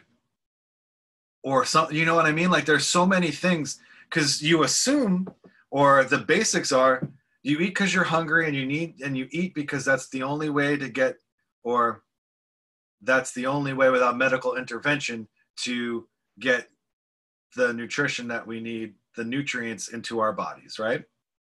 So, why we eat. And that's important f- from a food scientist standpoint because uh, when you know why, you learn how to manipulate that to sell something to someone that they may need or they may not need, but to get people to eat things when they're not even hungry, right?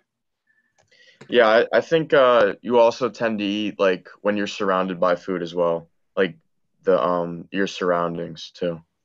Right, right. When you're surrounded by food, but what about when you're surrounded by people?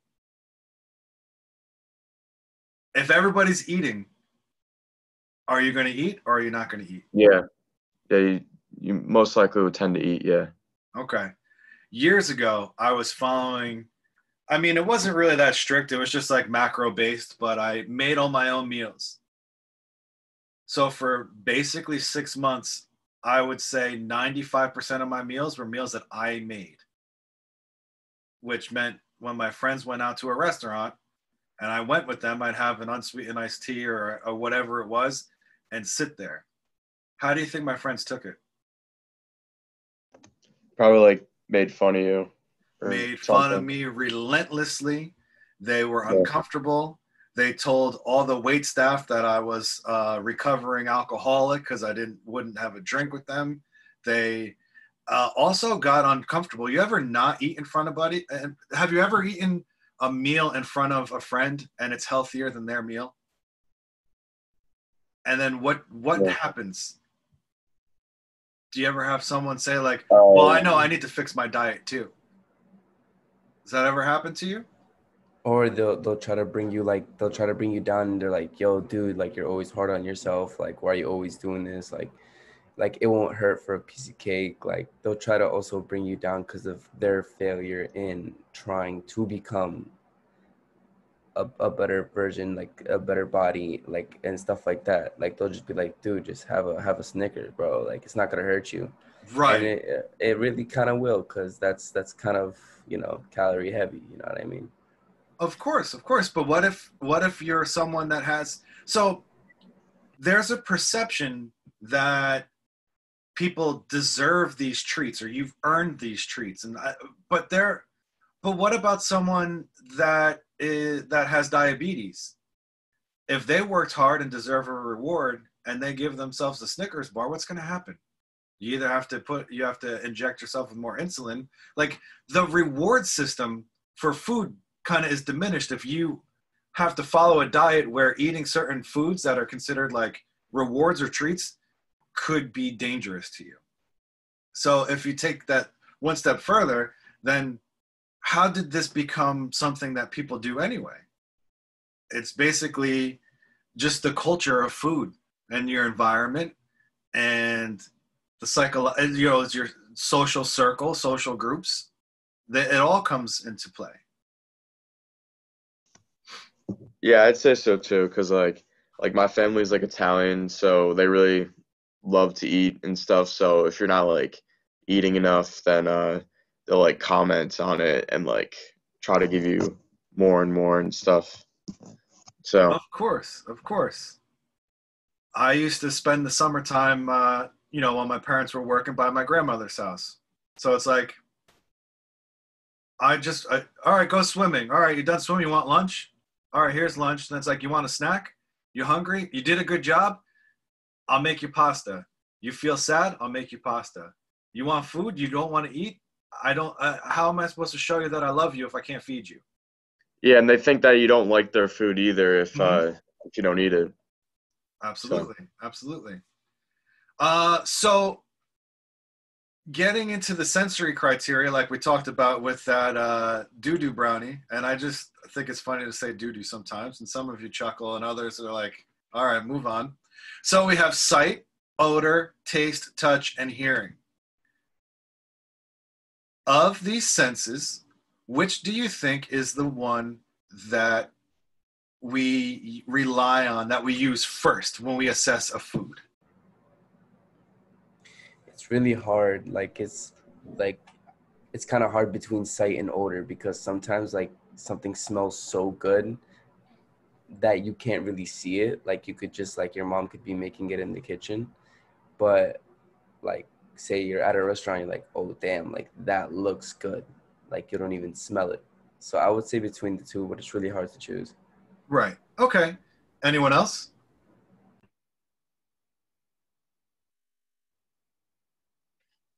No? Okay. So basically, according to the text, the the sense uh, even though we can detect odor from greater distances, the sense that we rely on first before we consume something when we decide if we're going to put this in our mouth or not is sight. Okay? That's why I showed you the video of those brownies because just by looking at them, people said, I'm not eating that. So, sight is the first thing. What do you think is the sense that keeps people coming back to a certain food? Taste. taste Taste? Right. If there's something that looks good, but when you bite into it, you're like, yeah, this isn't so good. Are you going to keep eating that uh, uh, over and over again? Maybe if we were one dimensional, like on a piece of paper and it's just the appearance, sure. But no, it's so after, if you like the flavor of something, you like the taste, you're sometimes the appearance doesn't matter as much. But sight is first, and what keeps you coming back is is the taste. So let's move on. Um, so in terms of the sense of smell, there's volatile molecules basically who could tell me what volatile volatile means? A, it says right here they're mole, molecules that are basically like gas in the air. Volatile means it's in the air. So they're going up your nostrils and you're sensing them and that's it. So olfactory is related to the sense of smell. And smell and taste go together to give you flavor.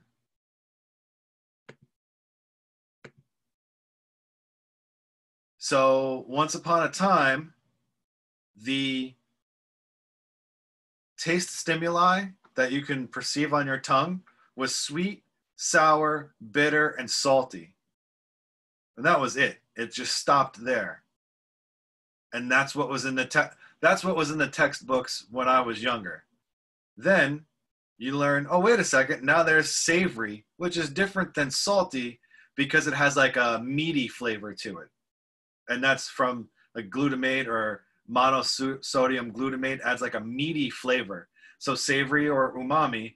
And now there's an even newer, the new new taste stimuli is oleogustus, which is a taste for fat. Okay? So six taste stimuli. Again, flavor is taste plus aroma. If you lose the ability to detect the aroma, you're going to have decreased flavor, right? If your taste buds aren't working and you can just smell the food, you're going to have decreased flavor. Have you ever noticed this? If you're congested, if if you can't really breathe uh, through your nose, and then you're trying to eat a food that doesn't taste as good, like when you have a cold, it's like all you want to do when you uh, when you have a, a cold is just eat some food that makes you feel better, and you can't even taste it. Other times, you know, uh, age is a big factor. The older you get, the less um, you're able to perceive these things. Also, temperature. The temperature of food ha- has a has a, um, an impact as well. So, an example of this is food that is cold. You won't be able to taste the flavor as much. Have you ever experienced this? So, if you if you're cooking something, say if you're doing meal prep, I know some of you said your friends or family members do meal prep. If you season your food when it's hot, the way that you prefer it when it's hot, if you take that in a cooler and go throughout your day and you eat your food cold, it's going to be more bland because the cold food doesn't have as much flavor. So uh, it doesn't have as much taste. You can't perceive it because the volatilized, there's no volatilized uh, molecules. So you're losing that aroma. That's part of it. Okay? So temperature is a factor. Factors for touch, you know, texture, consistency. Ah, oh, let's go back to this one. Chemesthesis. Chemesthesis, aside from being a tricky word to say uh, over and over again, is something that you probably have all experienced before. Have for those of you that are over the age of 21, have you ever uh, what's that? Um, actually, I forget now. Fireball. It's a cinnamon alcohol, right? Okay. What does it feel like in your mouth, or like a cinnamon hot candy? Do you feel heat? Yes. Have you ever tried this before? Like, yeah. Okay. Or if you've eaten um, hot peppers, you feel heat, right? If you stuck a thermometer in your mouth, would the temperature of your mouth go up after eating this food or while you're eating the food? No. No, it wouldn't. So it's the perception of a temperature change. This also happens with um, have you ever bitten into a mint or you eat a mint or a peppermint and then you inhale or exhale and it Mhm. feels like you could just blow Uh, you could turn people into ice cubes or something. Some kind of like Yeah. who's that Storm from X Men and maybe like uh, Elsa kind of hybrid if just eating the uh, peppermints. So that cool feeling. It's also not making your mouth colder. The temperature is the same, but you perceive this change in temperature. So chemesthesis is just that perceived change in temperature that's in your mouth. And the examples are like the the hot cinnamon candy that makes your mouth feel hot, or the uh, peppermint that makes your mouth feel cold. So hot soup would not be an example because that actually is hot in your mouth. And cold ice cream wouldn't be an example because that actually is cold, right? So it changes the temperature. So that might be something, if you haven't realized by now, kind of, if I go over something that much, it's probably going to be a question on the test. Okay? So also, um, even though for the live sessions you're expected to be here, I'm going to record everything anyway, and I'm going to like this session's being recorded. So at the end, I just post them all to Canvas, so you can go back to look at the previous recordings and try to figure out. Well, just review, and you can kind of get a sense for the topics that may make it to the quiz at the end. Okay. So you'll have you'll have all those to review throughout the semester. Yes? Heads? Head where nod? do you Okay. um uh, where do you access like you know how um you're like you're recording this right now and then you're gonna upload it to Canvas? Yes. Like where do you upload that and like where can you see it? I will put it, I'm going to put it probably in a module that says previous, that's called previous class recordings or something to that effect. And the first one I do, I'll put an announcement through Canvas that just says, and I'll link the module folder in the announcement. Does that make al- sense?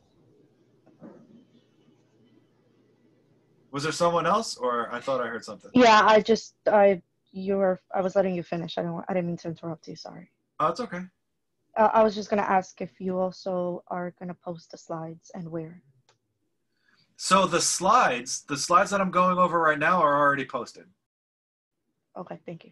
They're in the module called uh, 831. So it'll go by the date. Okay. Um, is it easier? Actually, I just thought, is it easier if I just put the recording for today in the module for today? So that way you have all the slides and the recording in one place? That module already exists. So is that easier to organize for everybody? Does anyone feel strongly that it should not be done that way? I'm just looking at it. Uh, please speak up if you feel it should not be done that way. So basically, you either are cool with that or it is what it is and you don't really, you're not really that concerned. All right, so I'm going to put the recording in the module folder that's called 831. And just to recap, that is located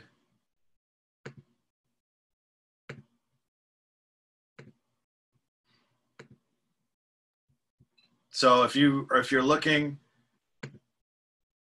here's the home page. Actually, let me do this.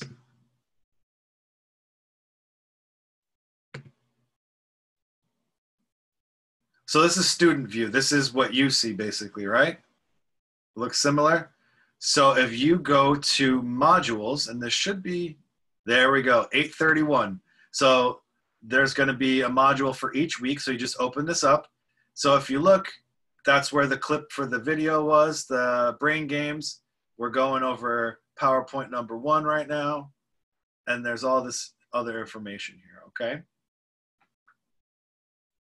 There's also the syllabus review, but added to this, I'm going to have the recording for today. Yes? Okay. Stop share.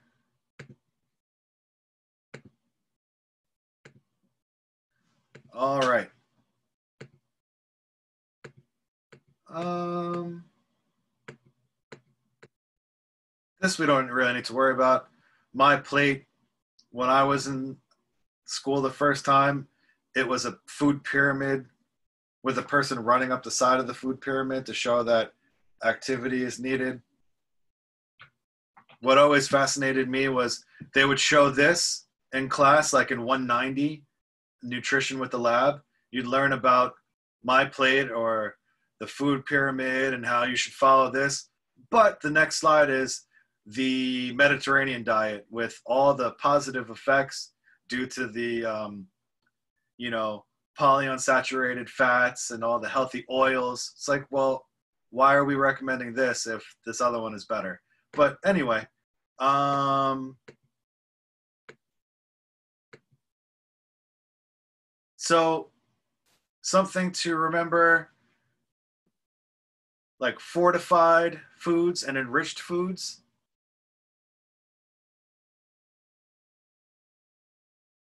Let's see. So, fortified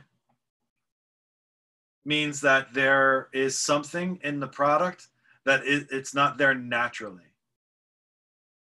Like calcium fortified orange juice. Do oranges naturally have as much calcium as milk? No. But when you add, but you can add calcium to it and all of a sudden now you don't need to drink milk anymore because you're getting all your calcium from your orange juice. Also, iodized salt. Why is iodine important? For your thyroid. For your thyroid, yes, yes. So, um, the decision was made many years ago to add iodine to salt because everybody uses salt. Something that you want to be careful of if you're only using sea salts like pink Himalayan sea salt and all the the there's probably 25 different kinds of fancy salt that everyone's using right now. If it's not iodized, then you need to make sure that you're getting iodine in your diet from somewhere else. Okay? So, fortified is basically building up a product to make it better than it was before. It did not have these things in it, now they're added. Enrichment is different. Enrichment can be like uh, all purpose flour or cereals. It's typically in grains. So basically, when you process all purpose flour, you strip away everything. So you have to add back what was lost during processing. So the folate, niacin, all that good stuff. Okay? So enriching is adding back what was removed, what was there already, they're just putting it back in. Everyone understands? Okay, cool.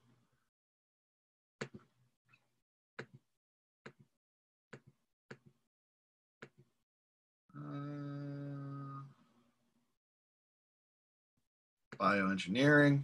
Something that's interesting. Um, have you heard of the lab grown meat? It's not popular yet. It's still very expensive. I don't think it's widely distributed, but there is meat that is grown in a lab. It's not plant based, it's actual meat.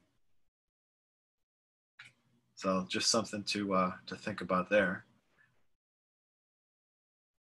GMO stands for genetically modified organisms. So a lot of times genetically modified organisms, the plants are um, you'd think that they have like some type of superpower, but it's pretty boring with what they're usually modified for. One product. Does anyone uh, can can you tell me a GMO product? Can you think of any examples? Most of Seedless the watermelon. I'm sorry. I, what is it?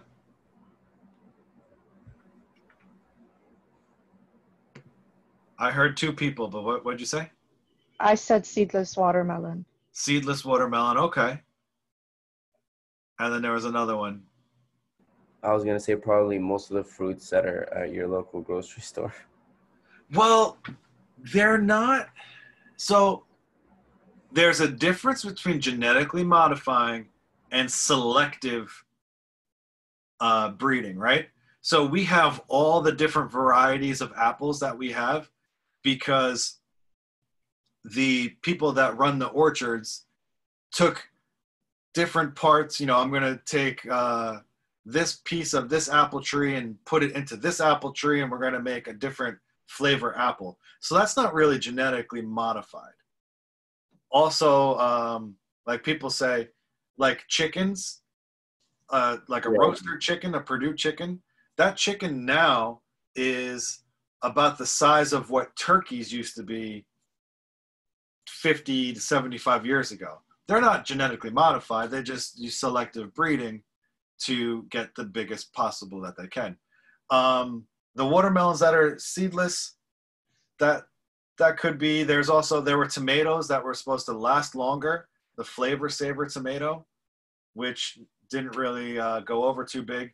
One of the some of the more popular ones now uh, are corn, genetically modified corn, and like I said, it's not really for anything exciting. It's modified so that it has a super high resistance to pesticides.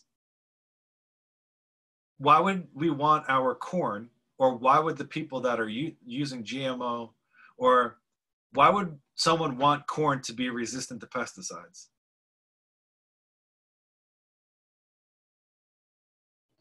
so that bugs are not eating them, which is not a loss of product and profit for the farmers because they're not losing the crop, so they can actually sell it.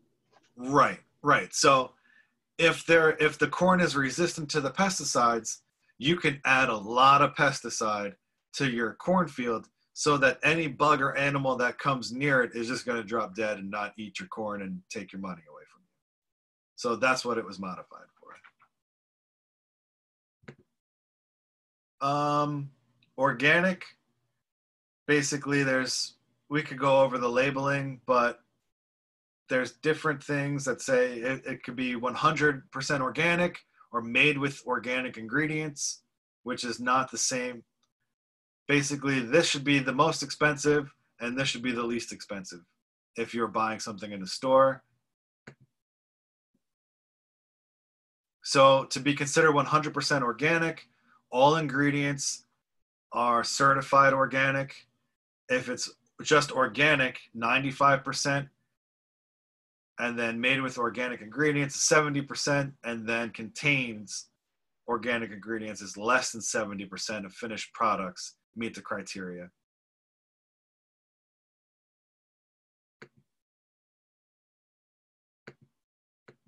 Okay.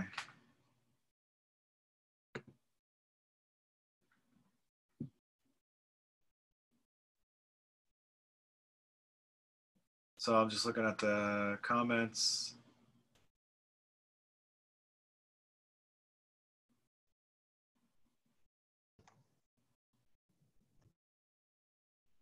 Okay, so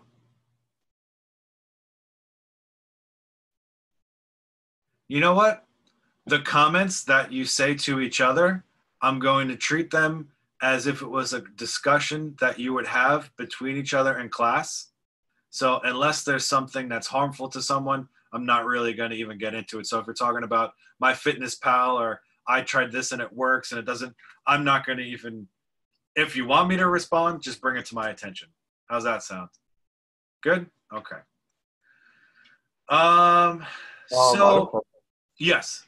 So where would you find um like that on like a, a product uh on how much organic materials in it?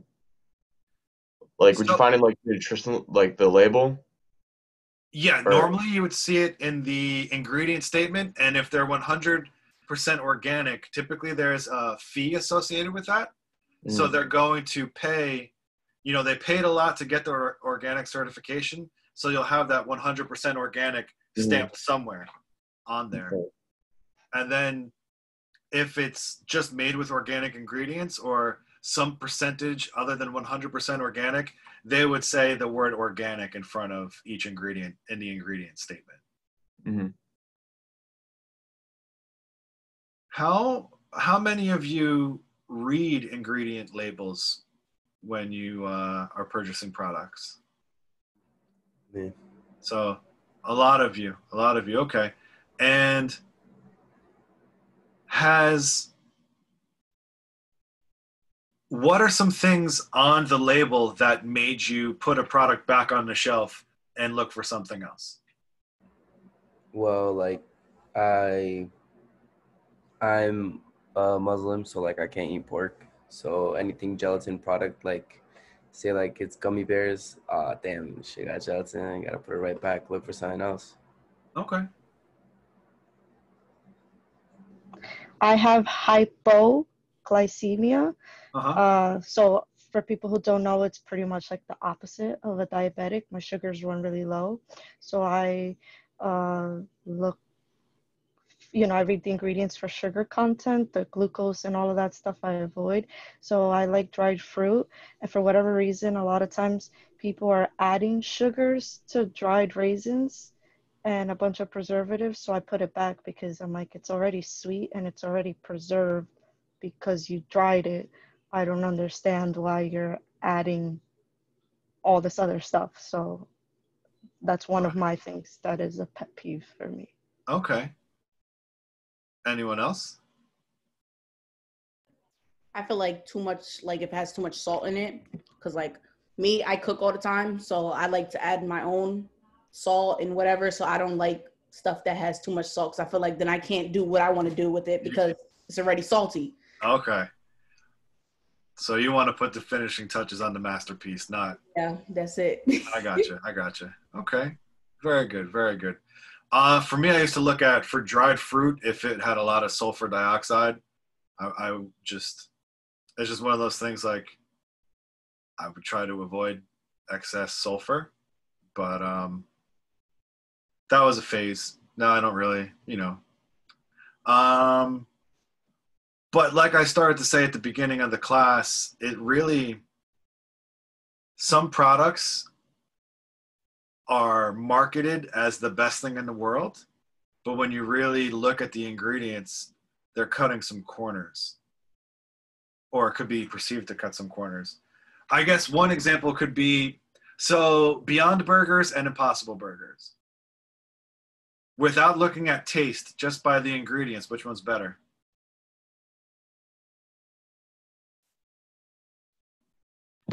Beyond. Okay. Uh, what makes you say Beyond is better? And if for those of you that aren't sure, just we'll just do a quick uh, search for Beyond and Impossible. Look at the ingredients. Going off what I've heard, because I haven't tried either one of them, but I've heard the like the Impossible Burger is pretty pretty terrible. Oh well, okay. So some people might like them, but just going by the ingredients. right? No, I mean I mean terrible um, ingredient wise. Okay. Um, Beyond has pea protein, right? Right. I believe. And Impossible has soy protein. In the plant based protein hierarchy, soy has a pretty bad reputation, right? So, why would Impossible use it? Could it be the texture, the behavior, the mouthfeel, or is it also the the cost, the cost of the soy to use? So pea protein, if you look, you'll probably see that pea protein is more costly, which should mean that Beyond, which uses the pea protein, would be a it costs more to make that product. So it should be a little bit more premium. Did anyone find anything contrary to that? Or confirming that?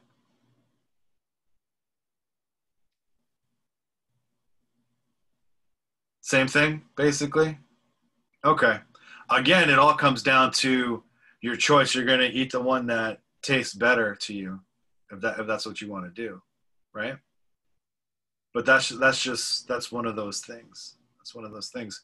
Also, um, this used to be an old I forget the brand of ice cream. It might be Breyers ice cream, but their commercial used to be kids reading the ingredient statement on their ice cream carton and then trying to read the ingredient statement on another brand. So ice cream is a thing that there aren't many things that are in ice cream shaped cartons in the freezer section of your supermarket that are actually ice cream. A lot of them, if you look at the label, they're called a frozen, Frozen dessert. Yeah, frozen dairy product. And the reason for that is they don't meet the standard of identity. So they might not have as much milk fat. Ice cream itself has a specific amount of fat in it from milk. And if you don't have that, you can't call it ice cream. So if you're doing it for dietary reasons, that's not a big deal. It's a frozen dessert, and you're purchasing this product because it has uh, lower fat, probably. Um, but if you're trying to market your ice cream and you're just not putting as much milk fat in because it's saving you money, you can't just sell that to people because it's fraud. So you have to you can't call it ice cream because it's not. Um, so sometimes if there's a lot of ingredients that don't need to be in a product, a lot of you know I, I might put that back on a shelf.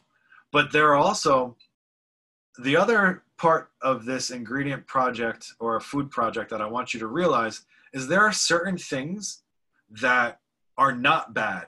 Certain names that sound like a dangerous chemical, it's just a thickener that without it, you wouldn't be able to have that food product.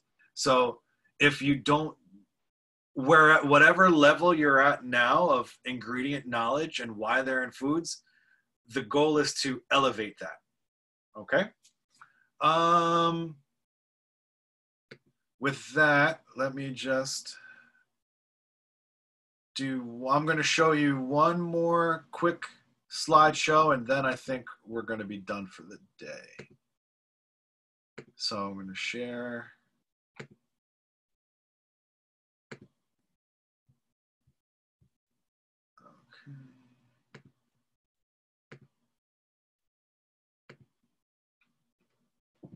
All right. So food evaluation. We're going to talk about uh, sensory evaluation. Do you prefer A or B? So these are hot sauces, right? So the reason why we're doing this is say, theoretically, that this class we were going to go into business together and we were going to market a hot sauce to Montclair State University students and then other students in the surrounding area. But we need to know what kind of sauce to make. Do we want to make it a thick sauce or like a thinner sauce? Everyone with me so far? So this is the sensory evaluation. This is these are people evaluating the the products. So sample A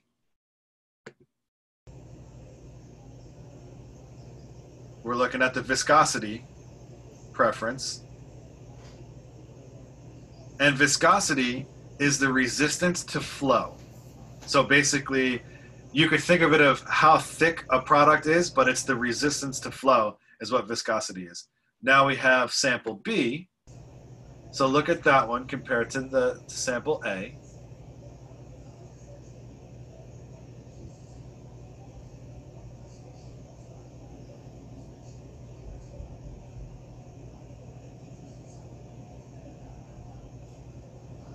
Okay. Of those two, which one would you say has a higher viscosity? B. Sample B. Does everyone agree? Yep. Yes? Okay, very good. Yes, sample B has a higher viscosity. So let's go to the next slide. And this is just looking from the side. Sample A spread out. Sample B is kind of stacked up on itself. So that's more resistance to flow.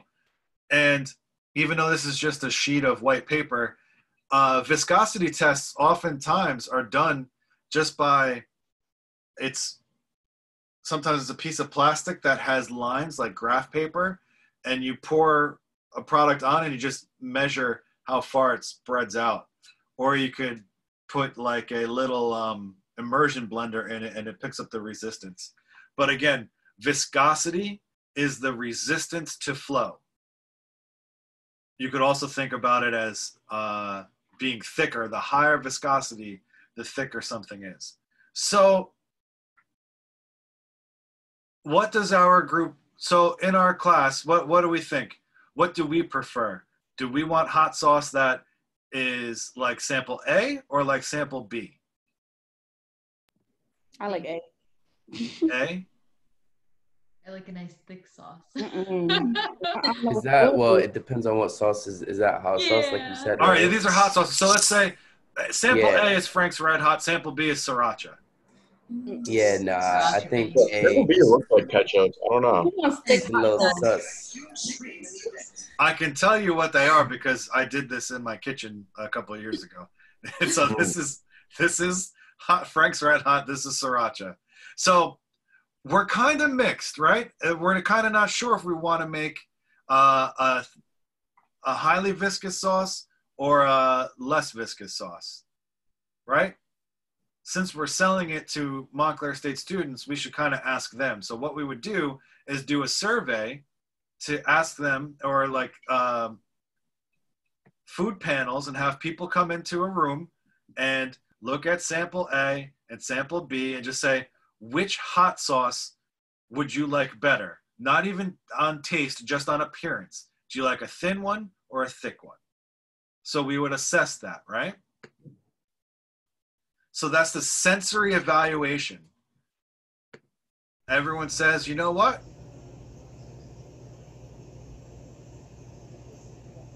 I we we say we polled hundred people and 75 said they like sample A, the Frank's Red Hot style hot sauce. So that's the sensory or subjective analysis. So when you think of subjects, think of people like we're the subject, right? For sen- and we have senses. So we're doing a sensory evaluation. So all the, the people say they prefer the thinner sauce, the Frank's Red Hot Red Hot style. What happens then is this gets changed into object analysis. What that means is we now know that we want a sauce that's this viscosity, this this desired thinness, right? Is everyone with me so far? Okay. So we so we're going to make a, our first batch we have to make uh, 1,000 bottles because that's what the factory, that's their minimum requirement. So we have to make 1,000 bottles of this hot sauce. What we want to do, and that's the objective testing, is establish what this viscosity actually is.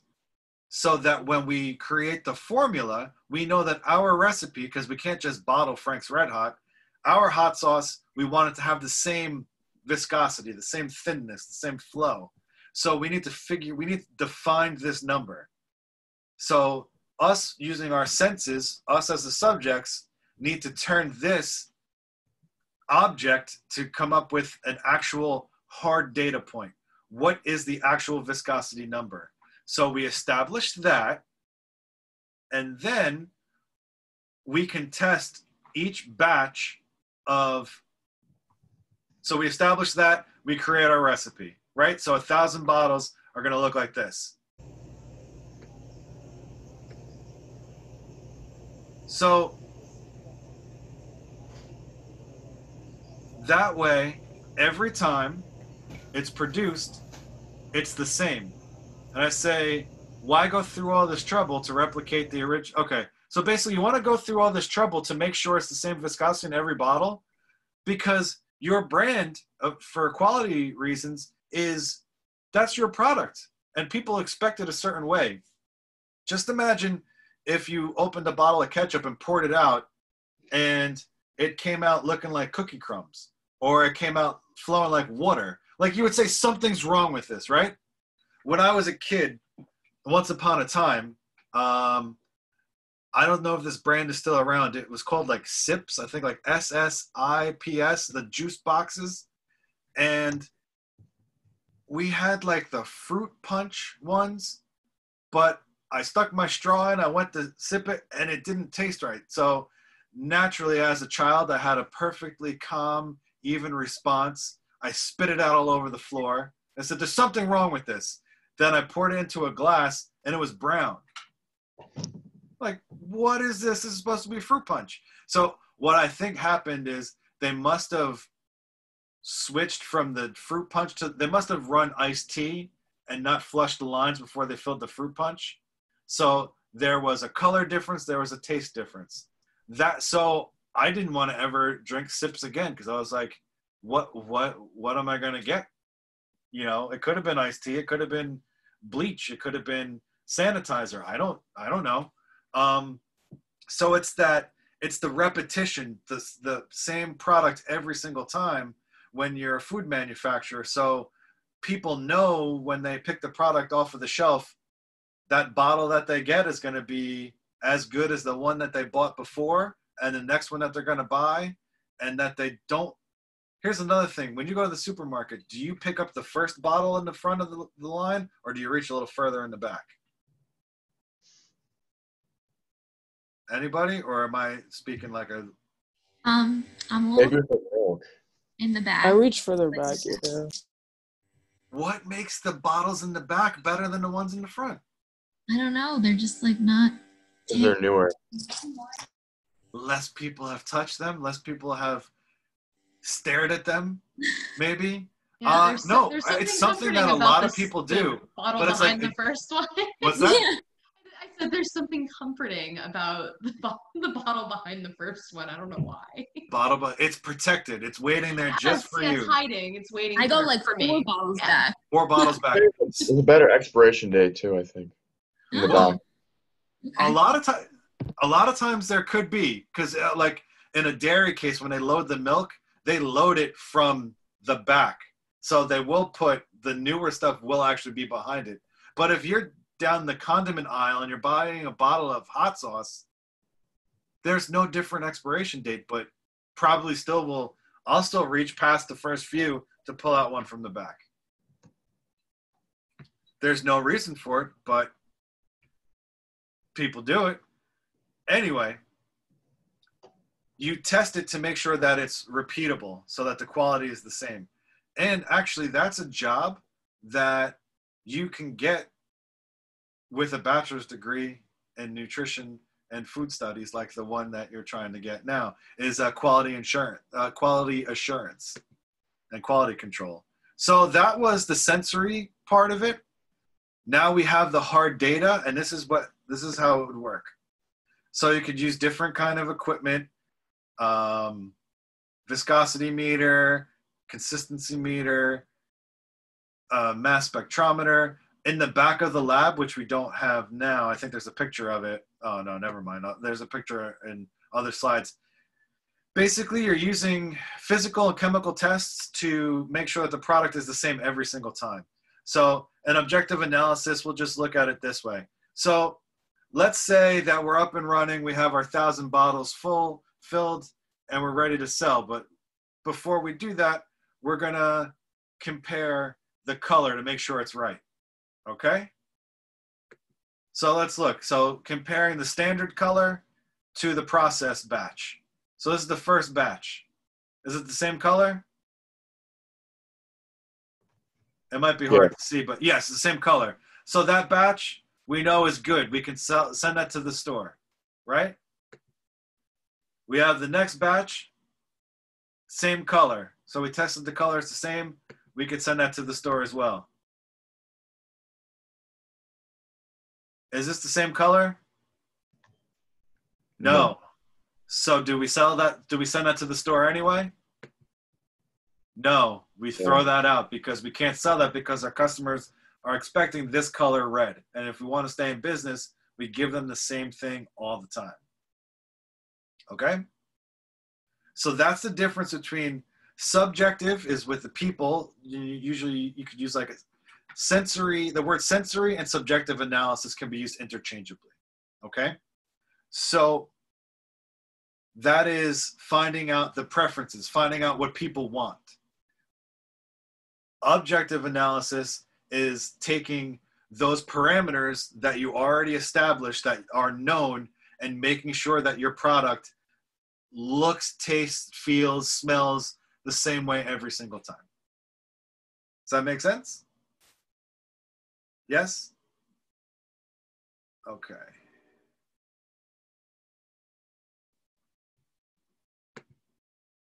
This is the thing in the back of the lab. So this is an example of objective analysis. This machine can test, uh, can establish chewiness. So instead of biting into a frozen bagel or a fresh bagel and saying which one is chewier or baking a chocolate chip cookie, you put it in the machine and an arm comes down and pushes into it and then retracts and it'll quantify chewiness. And it quantifies chewiness as hardness times cohesiveness times springiness. So it's what is happening in this little thing here that's being pushed onto the food. That's how you get chewiness. Crazy, right? Going back to color for a second, are any of you old enough to remember the days of purple ketchup or green ketchup? I've heard of it, but I You've heard of it. Okay. it. So purple ketchup and green ketchup were what they sound like. They were, it was ketchup that was purple, and then there was a ketchup that was green. What do you think it tasted like? Regular ketchup. Regular ketchup. The only difference was the red coloring. It was still tomato ketchup. And why was it made? I would imagine to sell more ketchup to kids because how do you how do you uh, increase ketchup sales? I guess even though it's so popular already, they wanted to have now instead of buying one red tomato ketchup, people had to buy the green one and the purple one to satisfy their kids because they wanted to try it. And if you tried it, you liked it. If you didn't, then it just sat in the refrigerator. So it just changed the color, which is crazy to think about because if you can change the color of the ketchup and still have it taste like ketchup, then uh, where does the ketchup flavor come from? It's Where does the of red color come from?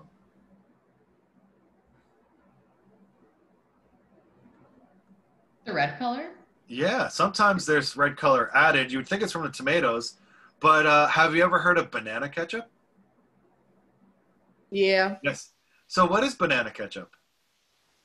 Yellow ketchup. No, it's red, but it's like it's kind of more gelatinousy. I don't know how to like describe it. Like I had it before. It's All right, so- sweeter than so- regular ketchup.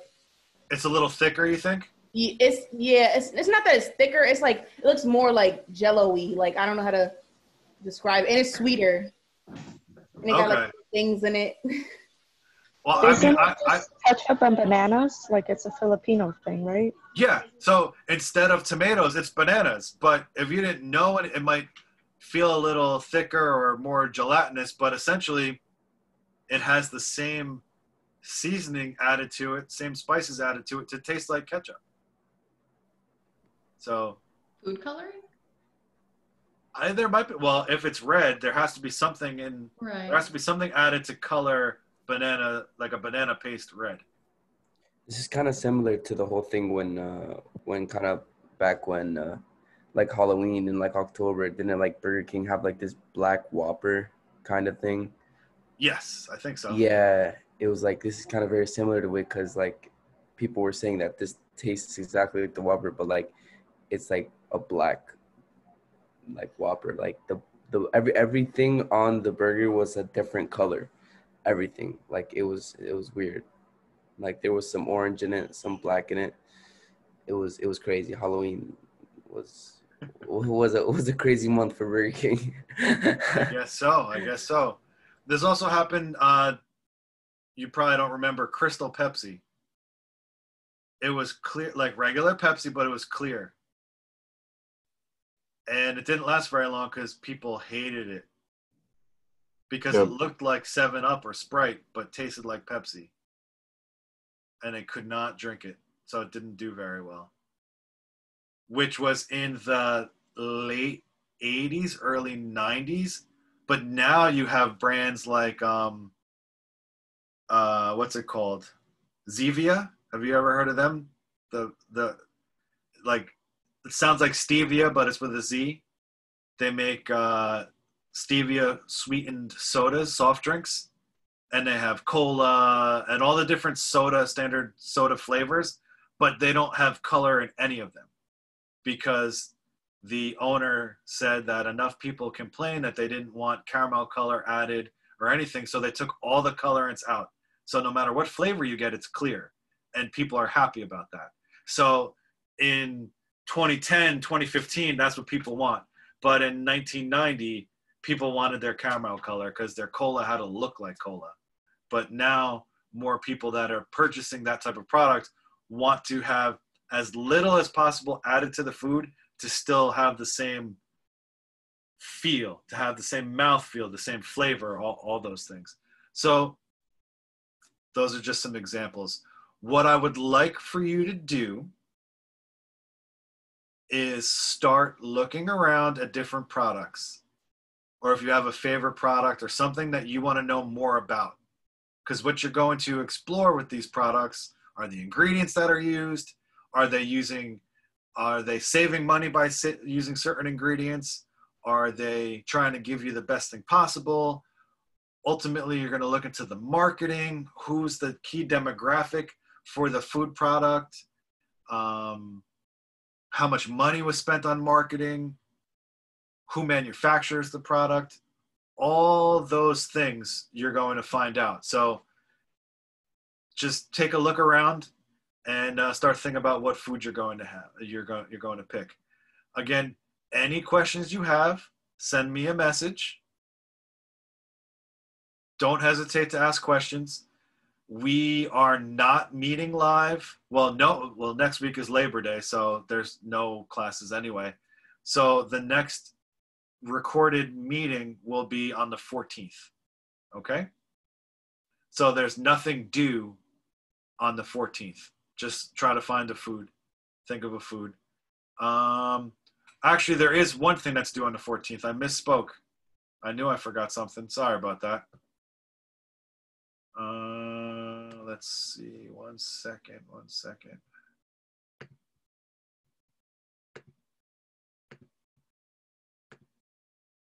So if you go into the module for today, there's a syllabus review. And it's basically 12 questions. Office hours are via Zoom by appointment. I understand. Live class meetings will be held via Zoom. There are no on campus meetings for this course. I understand. So just 12 things I understand and it's all from the syllabus. It's cut and paste from the syllabus. And this is due prior to the start time of class on the on the 14th. So I think the due date is actually 8:29 a.m. and then at 8:30 it disappears and locks. So it has to be done before you start class on uh, before before just do it by 829 on September 14th. Okay? It probably is in your best interest just to do it now so you don't forget. Okay? Um, again, that's in the modules tab. Right there, syllabus review. Does anybody have any questions?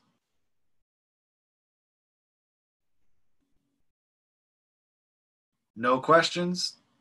Okay. That's it for this week, and I'll see you soon. Have Take care, one. everybody. Thank you. Yeah. Thank you. Thank you. Thanks. All right. Bye. Thank you.